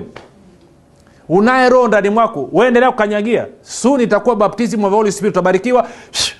Kila mtu ana roho ndani omba atoke humu ndani apande. Ndicho tunachotaka kwamba tuanze kumwagilia mioyo yetu sisi wenyewe. Lakini sio mioyo yetu tu na mioyo yanayotuzunguka inaeleweka maeleweki eh? sasa angalia anachosema ikitokea hivyo. Kwa anasema atamimina baraka. Sindio asema na baraka yangu juu yao utakao wazaa. Kwa hiyo inamaana kwenye familia. Sasa angalia ule mstari wa nne. Ha. anasema nao watatokea katika manyasi kama mierebi karibu na mifereji ya maji tano mmoja atasema mimi ni wa bwana. Na mwingine atajiita kwa jina la yakobo. Na mwingine ataandika juu ya mkono wake kwa bwana na kujiita kwa jina la israeli. Wangapi anasema kwamba roho akishamwagika maji akaanza kumwagika ardhi kavu ikaanza kunywa maji roho akamwagika juu ghafla mtu ambaye alikuwa na uhusiano na mungu wako anayosema mimi ni wa, wa yakobo. Mungu wa yakobo ni mungu wangu. Mungu wenu ni si bila hivyo hawawezi kukubaliana na mungu wako hivi naeleweka kweli sieleweki eh? tulisema maombi yanatengeneza mazingira mwafaka ya mungu kufanya kile kitu ambacho kama tusingeomba asingeweza kufanya. Tunatengeneza mazingira mwafaka kwenye mioyo yetu lakini na kwenye hao wengine. Tunapokuwa kwenye overflow ya holy spirit ikija hao wengine wanakuwa kuta... angalia wanavyojisifia hapa. Anasema hebu somoleme mstari wa tano. Moja mbili tatu twende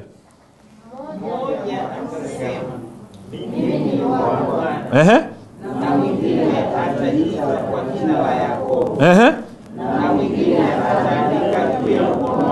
Ehe. okay mimi ni wa bwana mimi ni wa yakobo mimi ni wa israeli kwa jina la israeli si ndio? kwa hiyo inamaana watu kuja kujiunga na mnachokiamini ndicho wazungumzia jina la yakobo jina la israeli lakini pia wakati huo wasema mimi ni wa bwana si hawaji mpaka mwagiko umetokea mbona kama mtaki tena eh? kanyagia kidogo uone itakapotokea sasa unless shida ni kwamba tunavyoomba sendro unajua ria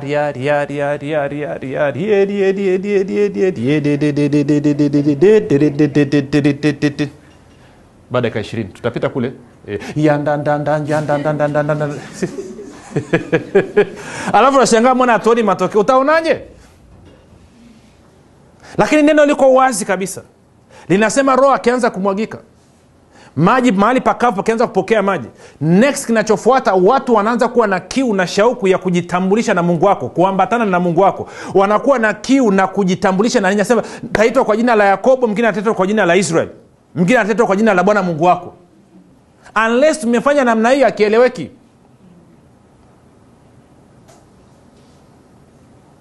na unajua habari njema? Mungu ana wengine ni ninyi tu. Hebu sema ni sisi sisi mungu ana wengine ni sisi sisi.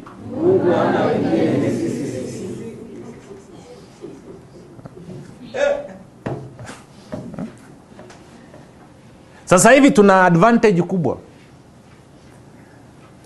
Almost 50 ya watanzania wana uwezo wa kusikia injili ya kristo kupitia vipindi vya neema na kweli. Hmm? almost sawa? Sio idadi ndogo hiyo. Eh?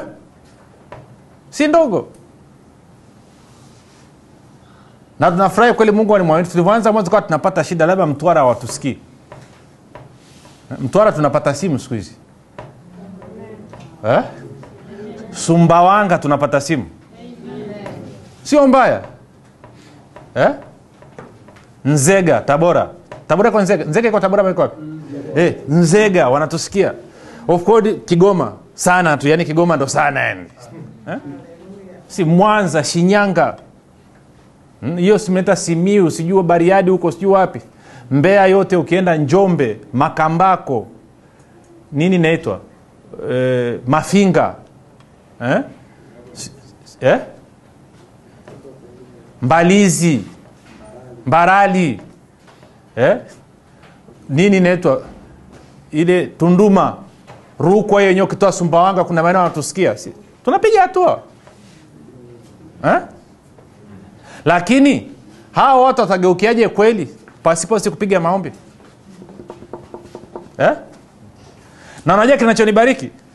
Kwa mfano huyo ndugu nilikuwa nazungumza naye jana. Anasema mafundisho yako nimekuwa nikiarekodi kwa simu. Watu walivyo serious yani yaani kipindi kikianza kitu kinatiwa simu inatiwa ninyi mnapewa bure hapa tamu ya taki yani. Oh haleluya. Kwenye miti hakuna wajenzi yani. Eh? aka bwana sasa hivi kuna nini? Redio ilikuwa mnara wa mbea kuwa amepata shida kaa siku tatu nne.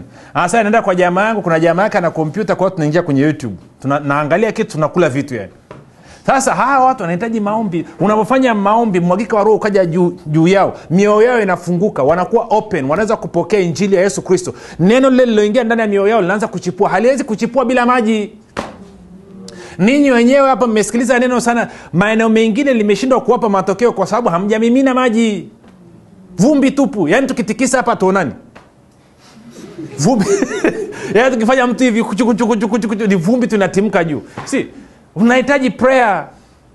Na roho ni muhimu sana. Roho anapatikana kwa majibu ya nini? Ya maombi. Yeye ndo anaweza kufanya kazi yote. Kwa hiyo kwa habari ya wenye dhambi tukitaka wageuke lazima roho mtakatifu awe na nafasi ya kwanza katika maisha yetu. Kwa hiyo tunaposema ili ombi tunaomba mwagiko. Ulitakiwa uwe serious. Kwa sababu litakubalisha na wewe.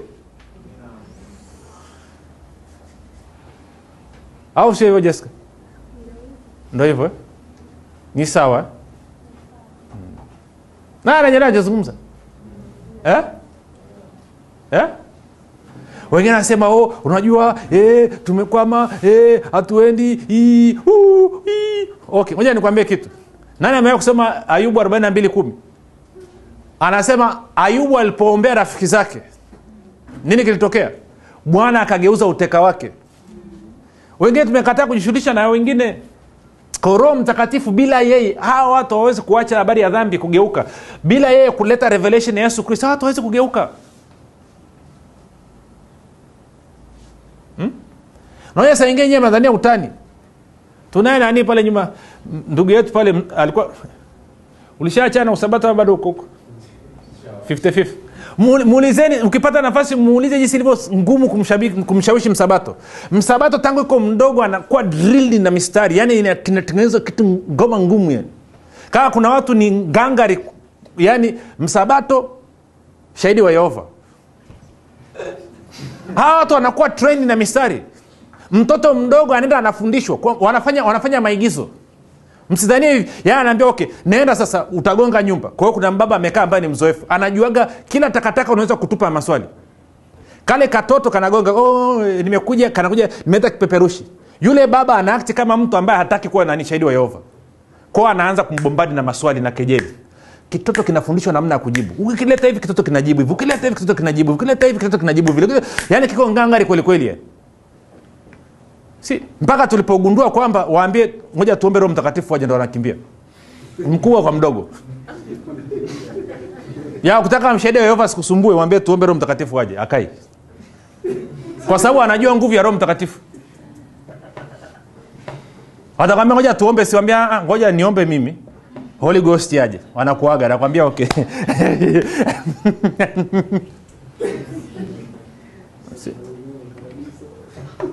nenda kwa msabato. Hakuna mtu aliokoka panaweza kushinda na msabato. Ngoma ina mistari alafu ni wajanja kwa sababu na nyewe akili zenu zinaenda resi pia wanawashinda. Kwa sababu ukianza naye pointi ukimbana akishajua umembana hapa anashindwa analeta topic nyingine. Wamekuwa trend kabisa.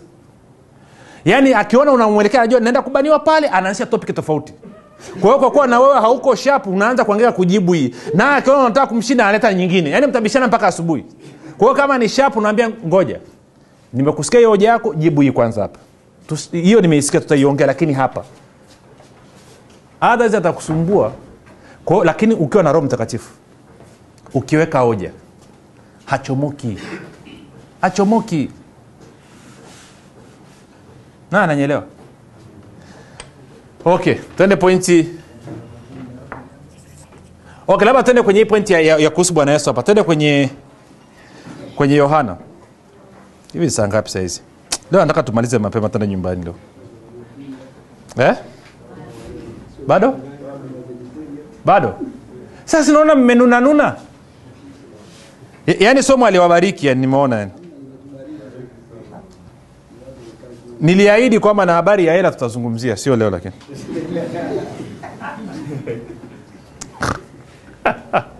Eh? yohana 15 26 kwa hii pointi namba mbili nataka anasema bwana yesu lakini ajapo huyo msaidizi nitakayewapelekea kutoka kwa baba huyo roho wa kweli atokaye kwa baba yeye atanishuhudia. Sawa? Roho atafanya nini? Atanishuhudia. Alafu anawambia mitume na ninyi pia mnamshuhudia kwa maana tangu mwanzo mmekuwapo pamoja nami. Kwa hiyo anasema roho atanishuhudia pamoja na ninyi kwa sababu mmekuwapo pamoja nami tangu mwanzo sasa mimi na wewe wakati yesu akiwepo duniani hatukuwepo hmm? eh? ama aliyekufanya ukaamini yesu yupo nadhani ni nani na hujawahi kumwona kuna wengine hata ndoto ya yesu hamjawai kupata eh? serious kabisa uliambiwa tu yupo na ukaitika yeye. Unamhitaji. Sasa tende kwenye nikuaishe pointi hiyo hiyo tende kwenye matendo ya mitume tano.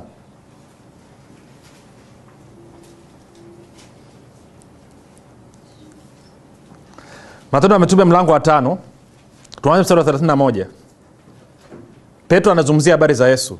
Anasema mtu huyo mungu amemtukuza kwa mkono wake wa kuume awe mkuu na mokozi awape waisraeli toba na msamaha wa dhambi. 32 na sisi tu mashahidi wa mambo haya pamoja na roho mtakatifu ambaye mungu amewapa wote wa mti wamtiio kwa hiyo anasema na sisi tu mashahidi pamoja na roho mtakatifu ambaye mungu amewapa watu wote wanaomtii yesu.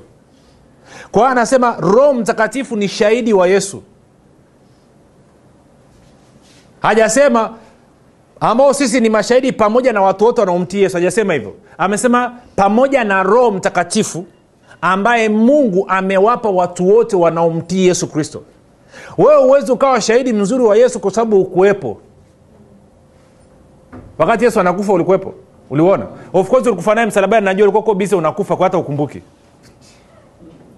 Si- kwa hiyo anayeweza kwao mimi kazi yangu nitaongea nitasoma maandiko nitaelezea habari za yesu yesu wa nazareti sijui alizaliwa na bikira mariamu sijui akafa. Si roho mtakatifu ndo atachukua kile kilichotokea wakati ule kule atakifanya kiwe halisi ndani ya moyo na akili ya huyu mtu ananisikiliza bila yeye huwezi kitu.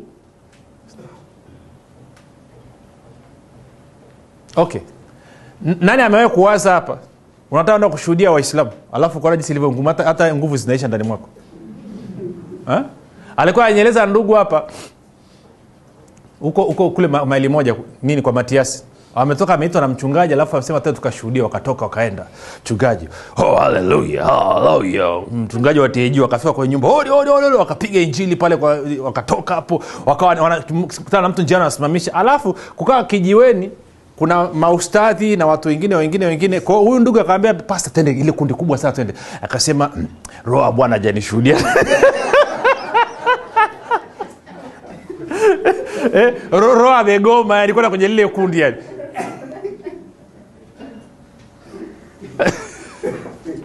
Kwa nini? Kwa sababu ndani kwenye akili yake ameangalia ona hizi ngoma hizi hapa. Kwanza hapa unaisha kupata ngumi na mateke hapa si lakini ungekuwa unajua kwamba roho mtakatifu ndiye mtendaji mkuu kwamba ukienda pale roho atashughulika nao. You very interesting. Nani amewahi ku, kuzungumza habari za yesu na watu wanne watano sita? Alafu wakawa wanabisha. Alafu ukawa unajaribu kutoa mistari unaweka hoja yako. Alafu wangapi wamewahi kunoti katika wale tano sita anza katika mtu mmoja ama wawili amelegea. Sindio wewe unaongea wengine wanabisha wanatukana wanakuzomea wanakucheka wanafanya nini wanafanya nini? Alafu akitawanyika unabaki na kondo wako. Yani, amelegea ni na nani alimlegeza nani? Holy sindio wakati hao wanabisha wanatukana holy anaminya tu. Anaambia yesu ni halisi wewe achana na baadaye hata kidai ameondoka na wenzake anarudi tena anasema ase nifanyeje? Si bila roho mtakatifu wapendwa hatufiki. Tutabishana sana tutagombana sana. Kwa hiyo anasema roho mtakatifu ana uwezo wa kumshuhudia. Ndio anayemchukua yesu anamfanya anakuwa halisi. Hmm? Nishawapi- nishawapigia stori nyingine tena ina- inanifurahisha kuliko wote. Mbea alikuja alikuja mtu kituoni kwetu pale mbea katokea sikumbuke sehemu gani huko huko milimani huko mbea huko. Jamaa anaumwa na mguu anataka kuukata wamwambia sijui kansa sijui kitu gani. Kwa hiyo akiwa amekaa kule akachukuliwa akaletwa mbea mjini kwa shemeji yake yani kwa dada yake namaa kwa shemeji yake. Ili sasa kesho yake wampeleke wamfanyia appointment hospitali wamearenji waenda wakakate mguu. Kwa akiwa amefika nyumbani yesu akamtokea.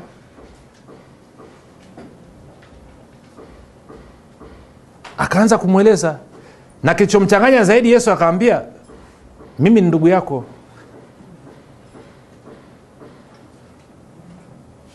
Huo mguu hautakatwa. Nataka unitumikie. Nataka ufanye kazi yangu. Kwa hiyo jamaa akatoka akaenda sebleni akamuuliza shemeji yake na dada yake kwamba kuna mzungu amenitokea chumbani anasema ndugu yangu. Akasema huyo freemason. Huyo ni freemason kabisa. Huyo ni freemason. Akasema ameniambia kwamba mguu akasema hiyo ni freemason kabisa. Tusisikie upumbavu. Kesho yake wakamzoa kwenye gari wakampeleka hospitali. Hiyo ya rufaa inaitwa nini? Sikumbuki inaitwa nini. Hey. wamfika pale kaingizwa kwenye foleni anasubiri kuingia thieta na wameshajua kwamba jamaa anataka kutoroka ametokewa na kwao wameweka ulinzi tight. Akiwa pale hospitali yesu akatokeza tena. Akaambia nilikwambia utafanyiwa na operation. Twende tutoke nifuate nyuma.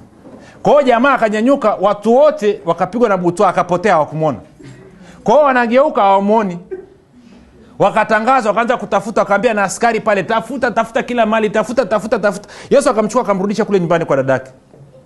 Kwa hiyo wametafuta wewe wamechoka wamerudi nyumbani wakamkuta jamaa amekaa. Wakasema wewe vipi? Umekujaje? Kwanza umefikaje? Akasema yule mzungu kanitokea tena. Akaniambia nilikwambia mguu hautakatwa kwa ndo amenileta nyumbani huku. Shemeji akampiga vibao vya kutosha. Akaambia sasa hospitali hatukupeleki. Toka toka toka jamaa wakati anatoka mzungu akatokea.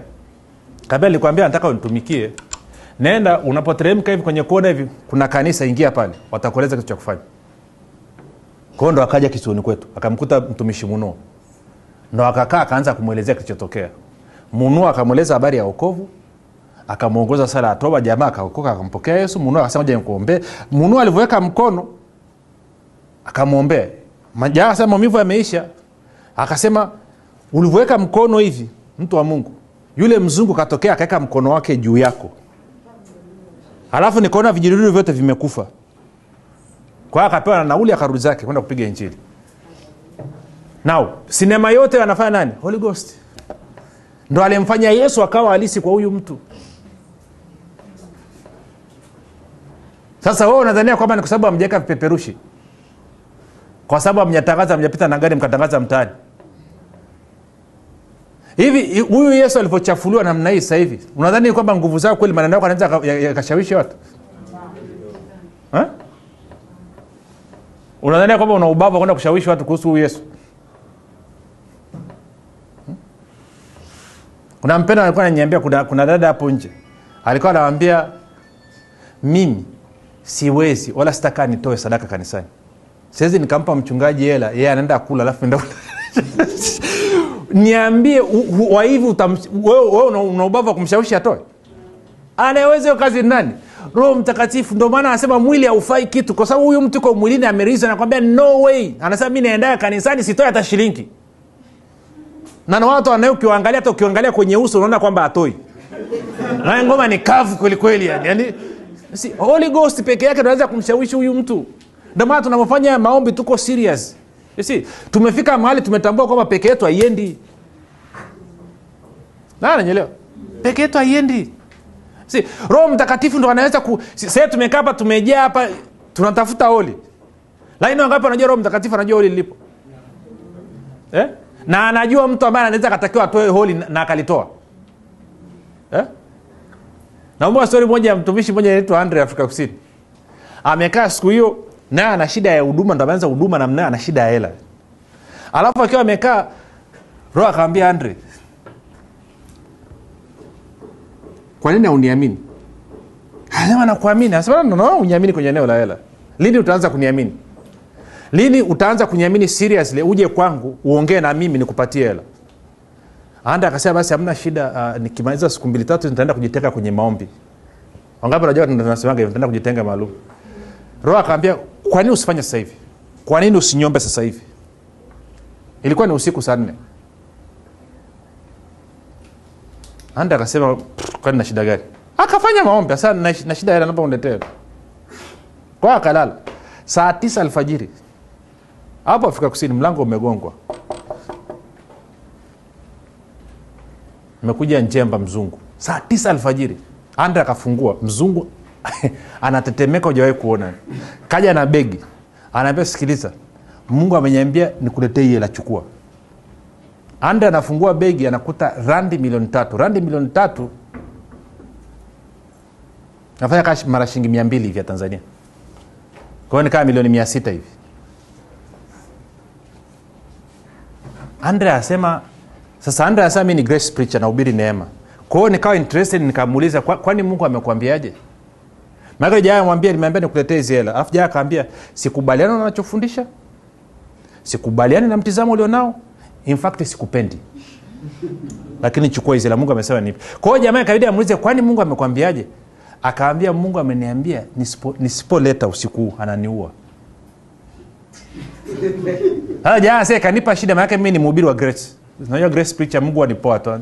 Yaani mungu yuko kwenye maloveo mdoto anatabasamu yaani hata ukikosea atakwambia poa sindio idea ya kwamba kwa hiyo nachotaka kuambia nini? Kwamba holy ghost sio sio sio dhaifu kama tunavyofikiri.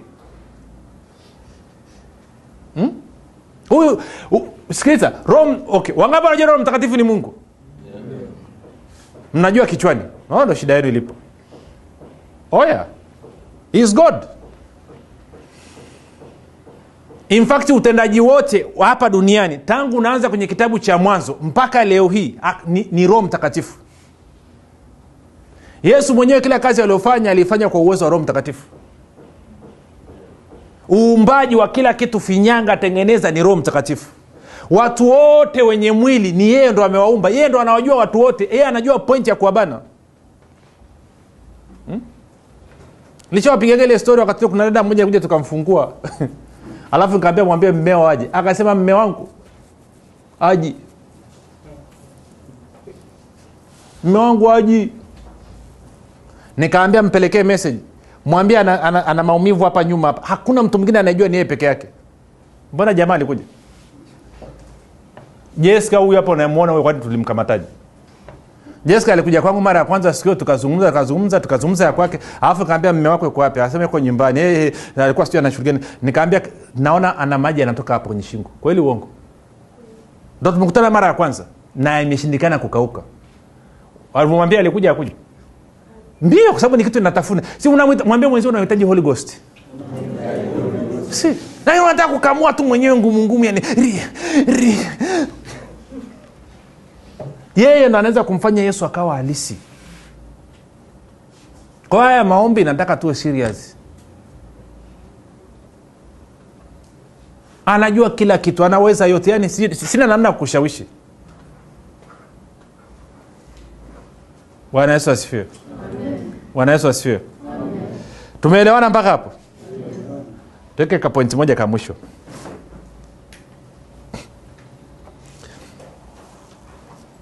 ama mbili. Mda eh, muda umeisha.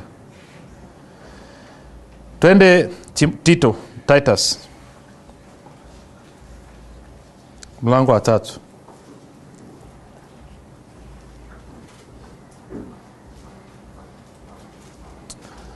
Kusoma tu mstari wa kwanza. Itabariki watu wachache. Ingawa tunaelekea ni kuanzia mstari wa tano. Anasema uwakumbushe watu kunyenyekea kwa wenye uwezo na mamlaka na kutii na kuwa tayari kwa kila kazi njema. Sindio eh? sindio eh? si tuko kwenye neema bwana. Wasimtukane mtu yeyote wasiwe wagomvi wawe wema wakionyesha upole wote kwa watu wote.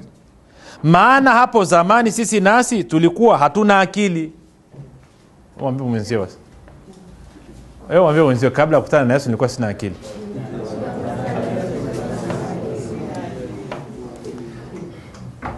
mwambie nilikuwa mwasi.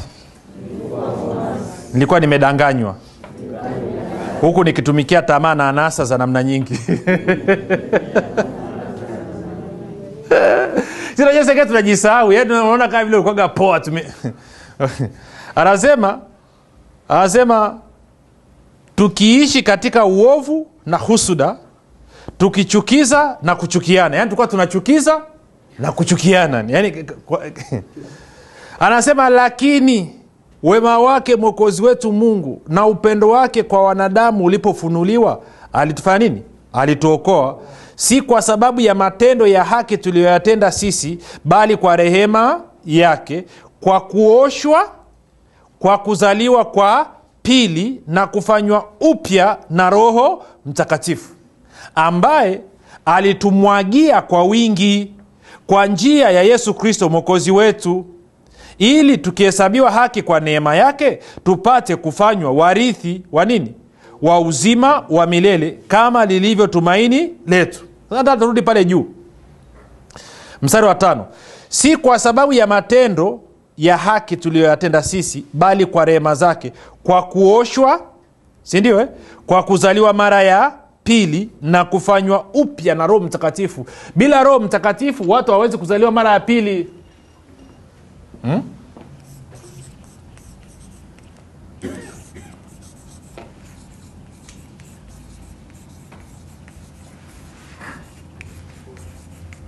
sindio ndio?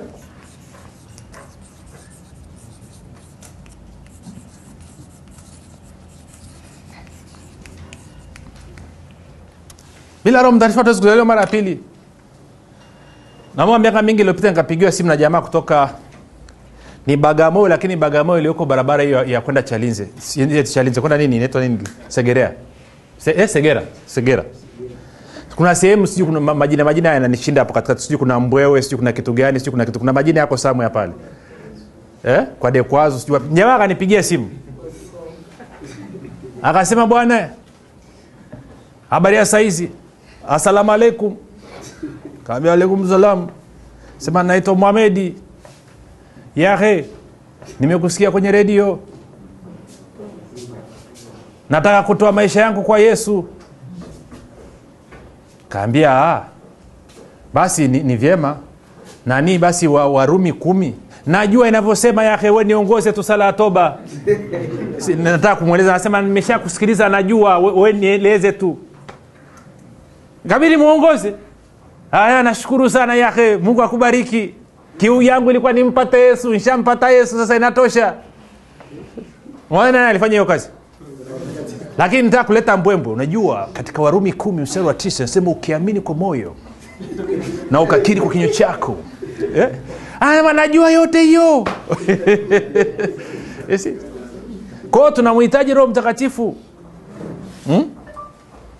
kwao anasema roho mtakatifu ndi anayetuosha yeye ndo anayetumia neno anasababisha tunazaliwa mara ya pili.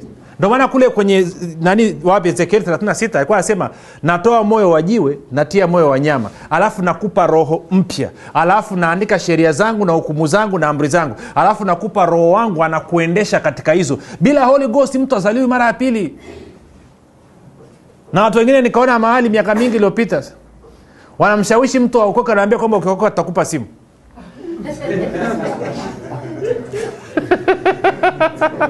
eh? yeye wanatumia rushwa. Isi- jinsi ambavyo roho mtakatifu ana nafasi katika maisha yako. Kwao mzee akakubali.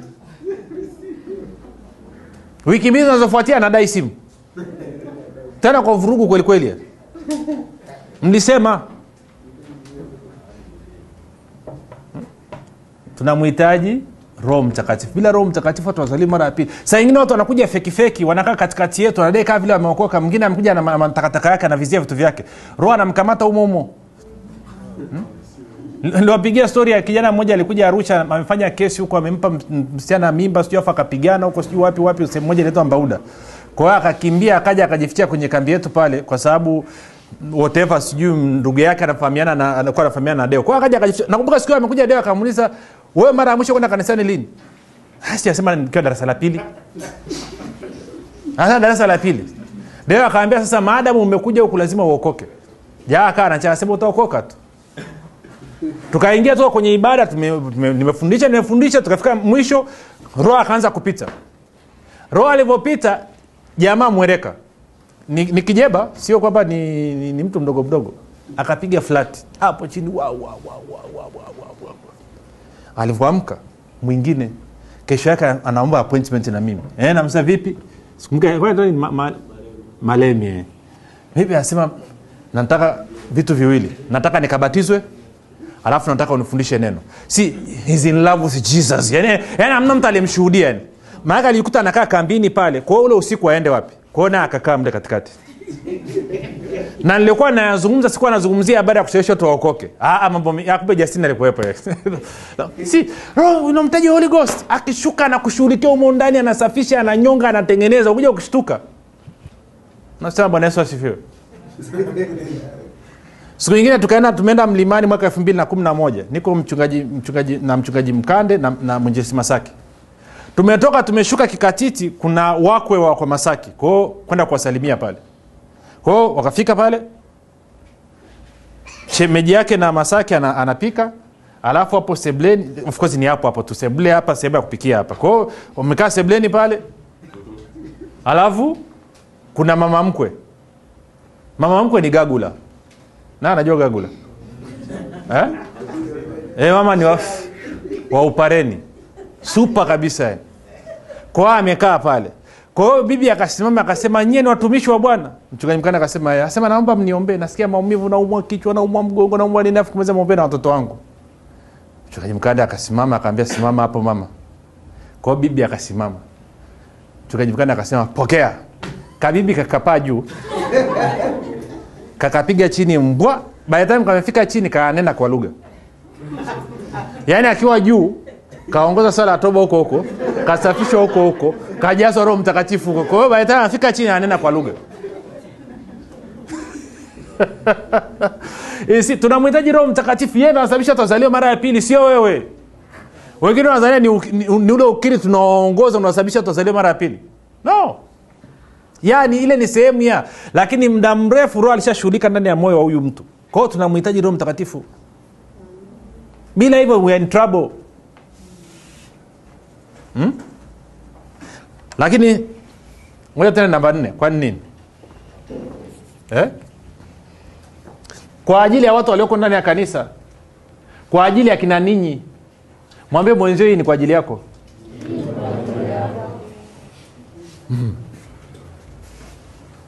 Ja tuisome kwanza afu ndo tutaiandika. Hmm? ama ngoja niiandike kwa nini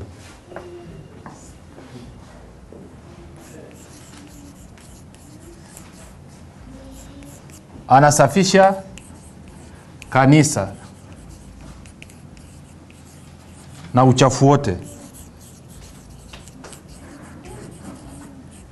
Si. Roho mtakatifu ndo anasanctify ndo anasafisha kanisa. Na sasa sisi sio wachafu. Ulijiangalia kwenye kioo leo? Wakorinto wa kwanza. Nazungumzia kioo cha rohoni wakorinto wa kwanza sita.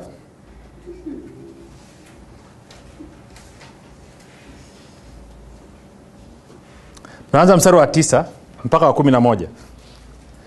Paulo anasema au hamjui ya kuwa wadhalimu hawataurithi ufalme wa mungu msidanganyike waasherati hawataurithi ufalme wa mungu wala waabudu sanamu wala wazinzi wala walawiti wala walevi wala watamanio wala wakus- wakos- wa- wa- wa- wa- wakosaji. Eh, anasema na baadhi yenu 11 mlikuwa watu wa namna hii lakini mfanya nini?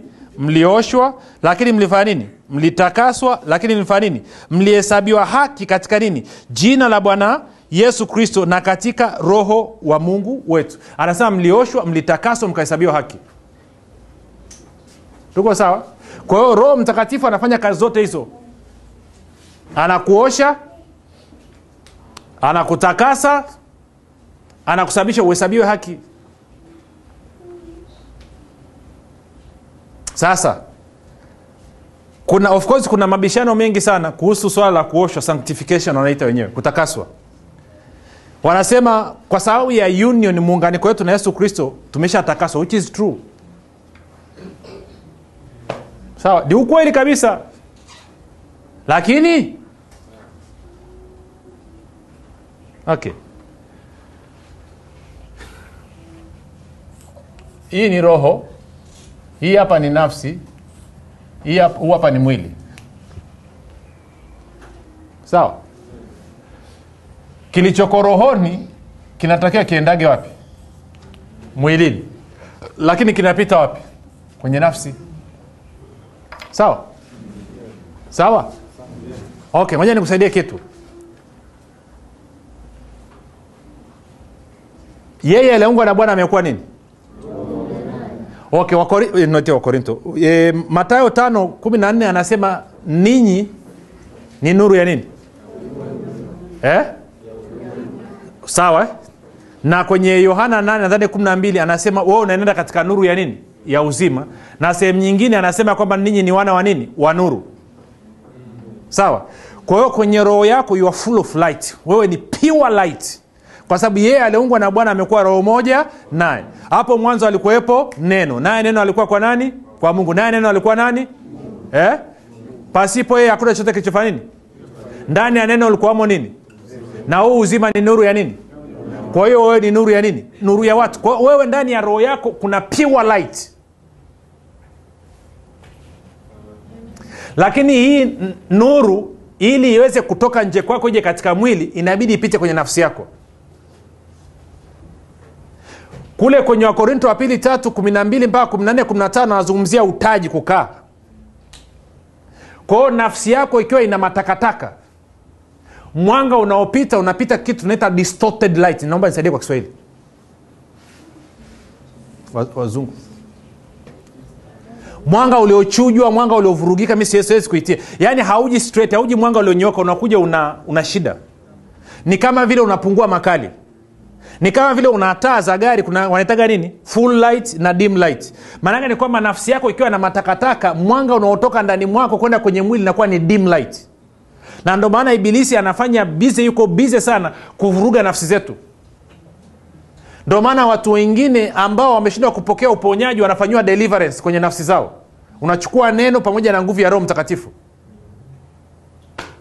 Si deliverance ni, ni process ya sanctification kwamba akiweza lile neno likiingia kwenye nafsi na nguvu ya roho mtakatifu ikafungua kwenye nafsi then kwenye lile eneo nuru inapita. Ndio maana una maeneo mengine huko vizuri una maeneo mengine huko hoi. Sijasikia amina wala haleluya haina shida. Tuko sawa? Kuna maeneo mengine wala haupati shida. Kuna maeneo mengine yani ni vurugu tupu hakiendi chochote. Ni kwa sababu kwenye nafsi yako kuna shida na ndo maana sanctification inahitajika. Sasa roho mtakatifu ndo anayefanya hiyo kazi. Neno peke yake alitoshi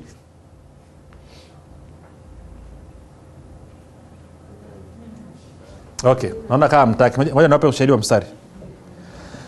Twende wathesalonike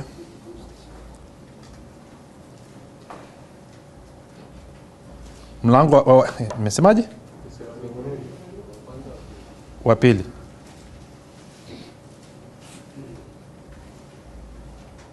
mlango wa pili. Mstari wa kumi na tatu mpaka kumi na nne. Anasema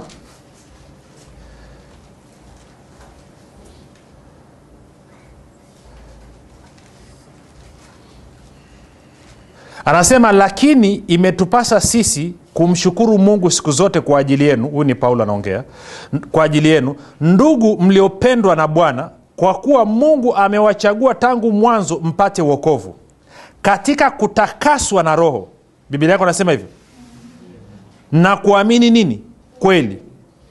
Aliyewaitia ninyi kwa injili yetu ili kuupata utukufu wa bwana wetu yesu kristo. Kwa hiyo anasema uwezi ukatembea kwenye utukufu mpaka umetakaswa kwa nini? Kwa roho na umeamini nini? Kweli. Uwatakase kwa ile? Neno lako ndio? Anayechukua kweli na kutakasa nayo ni nani? Roho mtakatifu kwa hiyo ukiamini tu alafu kawa ujamwachia roho mtakatifu nafasi ya kutumia ile kweli kuleta marekebisho ndani mwako kwenye mwili wako hakitokezi kitu. Wengine wote hapa mmejaa roho mtakatifu lakini kuna wengine kuachilia pawa mwezi iko stak ndani. Kwa sababu kwenye nafsi zenu kuna shida kuna baria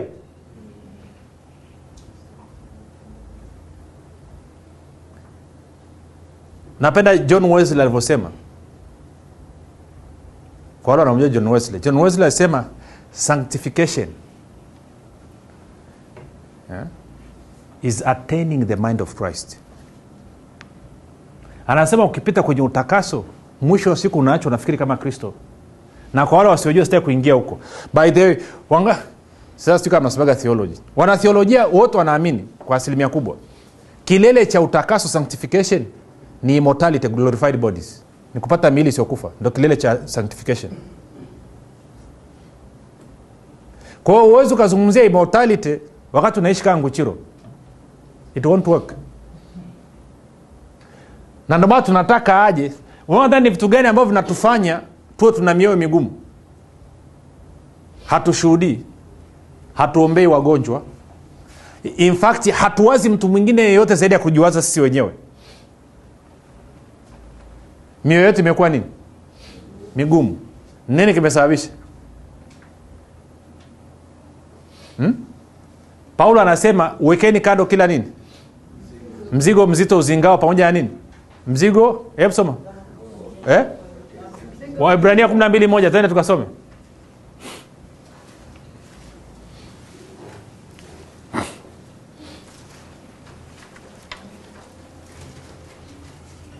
tunamalizia na ya mwisho ehe. Inasemaje? Amjapata waibrania kumi na mbili moja. Anasema basi na sisi pia Aha, kwa kuwa tunazungukwa na wingu kubwa la mashahidi Aha. namna hii, aha, na tuweke kando kila mzigo mzito aha. na dhambi ile tuzingayo kwa upesi, Eh. anasema dhambi tuzingayo yani entangled dhambi inayotuangusha inakusokota miguu ngapi? Najua naye amewa kuingia kwenye kwenye kwenye mamiti yale yenye mamizizi yametoka nje. Yani alafu mguu kanata ngang. Nyie mmekaa mjini amjawahi kupata hiyo. Kwa sisi tuliokaa vijijini. Eh? ibrahim watu wa monduli. Vichakani wakati unaenda la shaine. Waendelee tuko sawa? Okay. Tene pointi ya mwisho. Almost ya mwisho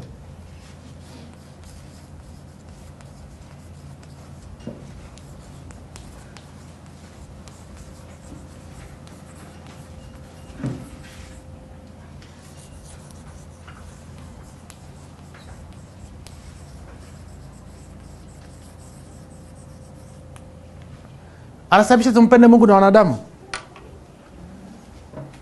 Eh?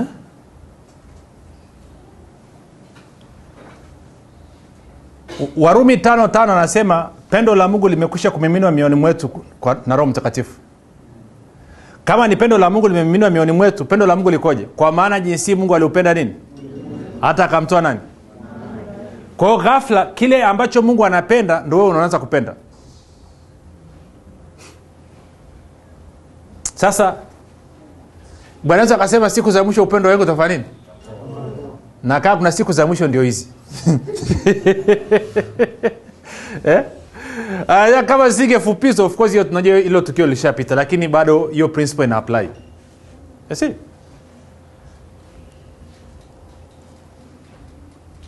lini umeshawai kuona mtu ukaguswa na udhaifu wake ukasema no naingia kufunga na kuomba kwa ajili yake mpaka apate jibu lake analolitaka.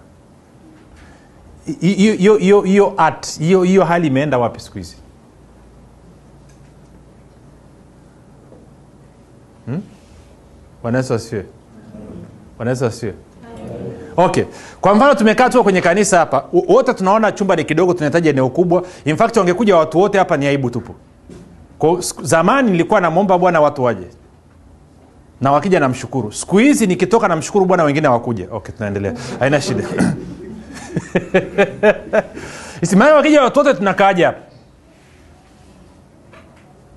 Okay pointi yangu ni nini?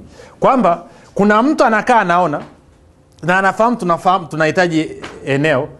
Kwa nini uingii kuomba? Hamtaki tena. Eh? Isi wengine wamekaa wanasema hiyo ni kazi ya mwalimu ameitwa. Kwani wewe kuitwa bibilia ijasema kwamba sisi ni viungo katika mwili wa kristo na kwamba kila kiungo kinatakiwa kisupply. Inawezekana hauna hela za kusupply lakini unaweza ukaingia kwenye maombi. Kwani lazima kila kitu tulipie? Kwani tusipewe bure? Yeah? mpaka amtaki tena. Eh? Mbona amekuwa kaa kimya ghafla? Si ngoja ngwambie urumagadi hawezi kuomba kila kitu. Ngoja nikupe briefing ndogo. Kwa mfano kama sasa hivi. Nilikuwa natengeneza katiba ya huduma. Tumemaliza kuitengeneza. Ina peji 42 natakiwa niingie kutengeneza kanuni. Kanuni zitakuwa zina peji kama mia na hamsini lakini wakati huo natakiwa kurekodi vipindi vya vinavyoenda kwenye redio na vinakwenda kwenye youtube ambavyo vinaruka kila siku. Alafu natakiwa kurekodi vipindi vya kiingereza vya kwenda kwenye televishen ambavyo navyo vitaruka kila siku alafu bado natakiwa nikatembelee matawi lakini wakati huo bado nataka urumagadi awaombee kwa mzigo ili mpate breakthrough kwenye maisha yenu. Alafu wakati huo nataka urumagadi aombee holi lipatikane. Wakati huo natakiwa urumagadi aombee watu waje kanisani. Wakati huo natakiwa urumagadi awaombee ili muwe na hela mifukoni. Wakati huo nataka urumagadi awafundishe. Wakati huo nataka urumagadi awaombee awekee mikono. Wakati huo nataka urumagadi urumagadi urumagadi. Mbona amwongei tena? Eh? mbona sisikii mkiongea eh? i wish ingekuwa ni super, superman super najua mtaniambia superman katika kristo kwani wewe- sio superman? Wako wachache nashukuru wameanza kujitahidi kutafuta eneo kama nani nani eh, yasinta pale mama chale selina walishapitapita lakini nahitaji maombi. Hmm? nahitaji maombi. Lakini nani atafanya? Sasa uwezi ukachukua sehemu ukaona unawajibika kama pendo la kristo aliwaki ndani mwako kila kitu tasema "Ah, ni cha yule ni cha yule ni cha yule mimi sihusiki mimi sihusiki mimi sihusiki. Kuna wengine mko hapa hampendi navyoendesha huduma. Mna- mnarizika na jinsi navyoendesha huduma kwa asilimia mbili tu. Nyingine wote nawatia kichefuchefu. Okay kwa nini msiingie kwenye maombi mniombee? No niko serious. Eh? Kwamba ungeingia kwenye maombi uombe ili niwe vile ambavyo bwana anataka niwe. Sio vile ambavyo unataka niwe. Sindio lakini huwezi ukafanya hivyo kama huko katika upendo. Si ukiwa katika upendo ukaona udhaifu wa mwingine haushangilii. You don't dance on the grave. Unajua hiyo sentensi kwama unaenda kucheza kwenye kaburi la adui yako amekufa. Nilikwambia utakufa. Umekufa umekufa umekufa. We don't do that. Kwamba ukiona udhaifu wa mwingine kama uko kwenye pendo la kristo unaingia kwenye maombi unaomba kwa mzigo. Bwana yesu ameangalia akina petro akajua hawa wajamaa wananikana. Anasema petro nimekuombea. Shetani ameomba kuwapepeta kama ngano. Lakini nimekuombea imani yako isishindwe. Utakaponirudia waimarishe na ndugu zako. Alipojua kwamba hawa jamaa watanikana hakupuuza. Alienda akaingia kwenye maombi kwa mzigo ili jamaa asipotee. Lakini uwezi ukafika huko kama pendo aliwaki ndani mwako inawezekana na jirani yako unamwona kila siku unaona na matatizo ama unamwona kila siku edha ana, changamoto fulani ama unajua kabisa anahitaji anatakiwa ampate yesu. Lakini hujawahi kuomba hata kwa ajili yake. Ulijaribu kumshuhudia mara moja akatalia ukanuna. Pendo la kristo latubidiisha na anaweza kutufanyia hivyo ni roho mtakatifu peke yake. Hmm? unajua akimwagika hapa tukajaa pendo hapa unajua unapenda kila kitu? Eh? miaka mingi iliyopita sikumbuki kwa elfu mbili na kumi na tatu. Baadhi ya wapenda dar es salaam niliambiwa wakaendaa glory hostel kuondoa mapanyabuku tena mwalimu kugema anaenda kuwafundisha. Mwalimu kugema akafundisha malove watu wakaa kwenye upendo akaenda kufundisha na mbea siku hizi mwenyewe naye upendo sijui umeenda? Okay, upo ndani haleluya. Si ndo alikuwa specialist wa upendo kwenye hii huduma. Eh? ama uongo selini aenda akawafundisha watu mapanyabuku watu walikuwa na mabifu ma- ma- ma- ma- ma- matakataka ndani mamizigo yote wakaondoka watu wakasema aise hii kitu natakiwa ifanyike kila mwezi. Eh, selina akajitolea nitalipia kila mwezi. Lakini ile kitu ilivyoyeyuka basi hatuja kumsikia tena hata kujitolea. Yani, leo hii tuna eneo hapa wala tusikia watu wakizungumzia moja kukutanika kwamba enzie tulikuwa tunalipia ukumbi sahii tuna ukumbi hapa huko hapa tunautumia sijai kusikia hata siku moja. Wanzia jumapili tunataka tuje tukae pendo lipite litusugue lituoshe. Sijai kusikia mhamasishaji yupo mfundishaji yupo lakini wote wanahitaji utakaso. Oh, haleluya. Wanahitaji utakaso wajazwe upya. Nani anajaribu kuzungumza? Ndio maana bwana yesu anawambia wanawambia kwenye ufunuo anasema pendo lako la mwanzo where is your first love? Lile pendo liko wapi lile pendo ambao ukuwa ukisoma neno unasikia raha unaburudika oh haleluya yani liko wapi? Lile pendo ambayo ukuwa ukiangalia kila mtu unampenda. Leo hii kila mtu kiangalia unamkosoa huyu ana matatizo haya huyu ana matatizo haya huyu ana matatizo haya huyu ana matatizo haya kiongozi wangu ndo zaidi kabisa. Why is that love? Ndio maana tunaomba mwagiko wa roma yote haya anayoandika na yako msururu. Yote anayoandika pani ni kwamba roho mtakatifu akija anaanza kufanya katikati yetu na katika maisha yetu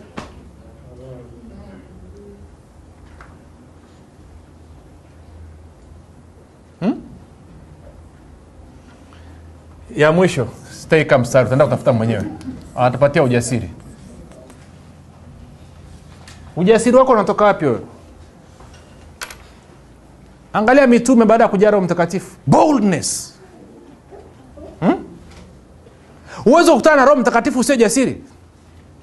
Roho mtakatifu anakupiga ujasiri kiasi kwamba mtu anataka kupinga akikuangalia alikuwa amekuja kukupinga. Alafu unamwambia vipi? Anasema amekuja kusalimia kwa, kwa sababu alioko ndani mwako ambaye ni mkuu kuliko alioko ulimwenguni amejaa full.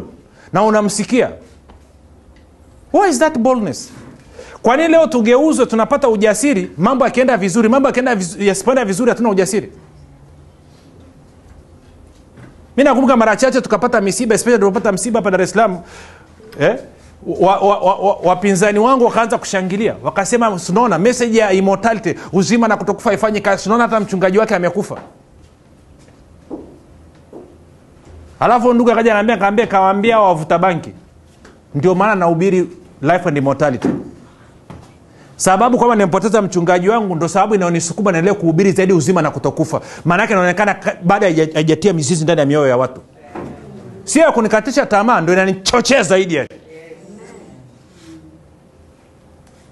vitu vingine hatuhubiri kwa sababu tumeona tunahubiri kwa sababu mungu amesema si ingetokea nimekufa ingawa siwezi kufa. Mngepita kwenye jeneza langu ningeamka. Wakati mnatoa heshima za mwisho. Immortality oye alafu nalala yani. Uone kaa kuna mtu atabakia hivi vitu ni mungu amesema ni mambo ambayo ameyafanya hayabadiliki msimama unabakia pale pale. Na anayekupa huo ujasiri nani? Holy ghost kwani unaona aibu kusema kile unachokiamini? Angalia mara ngapi petro na yohana wanavyozungumza. Wanasema wala msione haya kusema tumaini lenu kuongea kile ambacho mnakiamini. Hausemi tu kwa sababu umeona matokeo unasema kwa sababu unamtii mungu. Pendo la kristo linatubidiisha. Wengine unaenda kwenye intervyu ya kazi unaangalia chini mwanzo wa intervyu mpaka mwisho ndio maana upate kazi. Waangalia watu usoni. Hmm? Fundishwaga zamani sana namna ya kufanya interview. Nikaambia kama unaojua na kina mama na unavyojua na kina baba iko tofauti na unavyojibu. Nikaambia nafanyaje? Akasema ukiongea na kina mama tabasamu. Ukiongea na kina baba kuwa serious. Kwa hiyo nikaenda kwenye interview yangu ya kwanza british council. Wamama wawili mbaba mmoja. Nikiongea na kina mama oh, haleluya nigeuka kwa baba serious. Nilipata kazi. Inafanya kazi. Oh, haleluya kwa hiyo nachosema roho mtakatifu anakupa ujasiri wengine unaogopa hata kueleza kile ambacho unakiamini kwa nini? Wengine wanasema naogopa kualika watu kanisa letu dogo tunakutana kidogo. Wangapi wanajua zamani kuwa mna makanisa huko mitaani makanisa yalikuwa ni nyumbani? Yaani paulo angefuka hapa alafu kuta tumekutania nyumbani hapa angesema kuna overflow kule. Ile ndo analisifia mbinguni sio yale ma- maoli kule. Makanisa yalikuwa nyumbani. Where is that boldness mtu ajaokoka na kushindaje? Wakati una holy ghost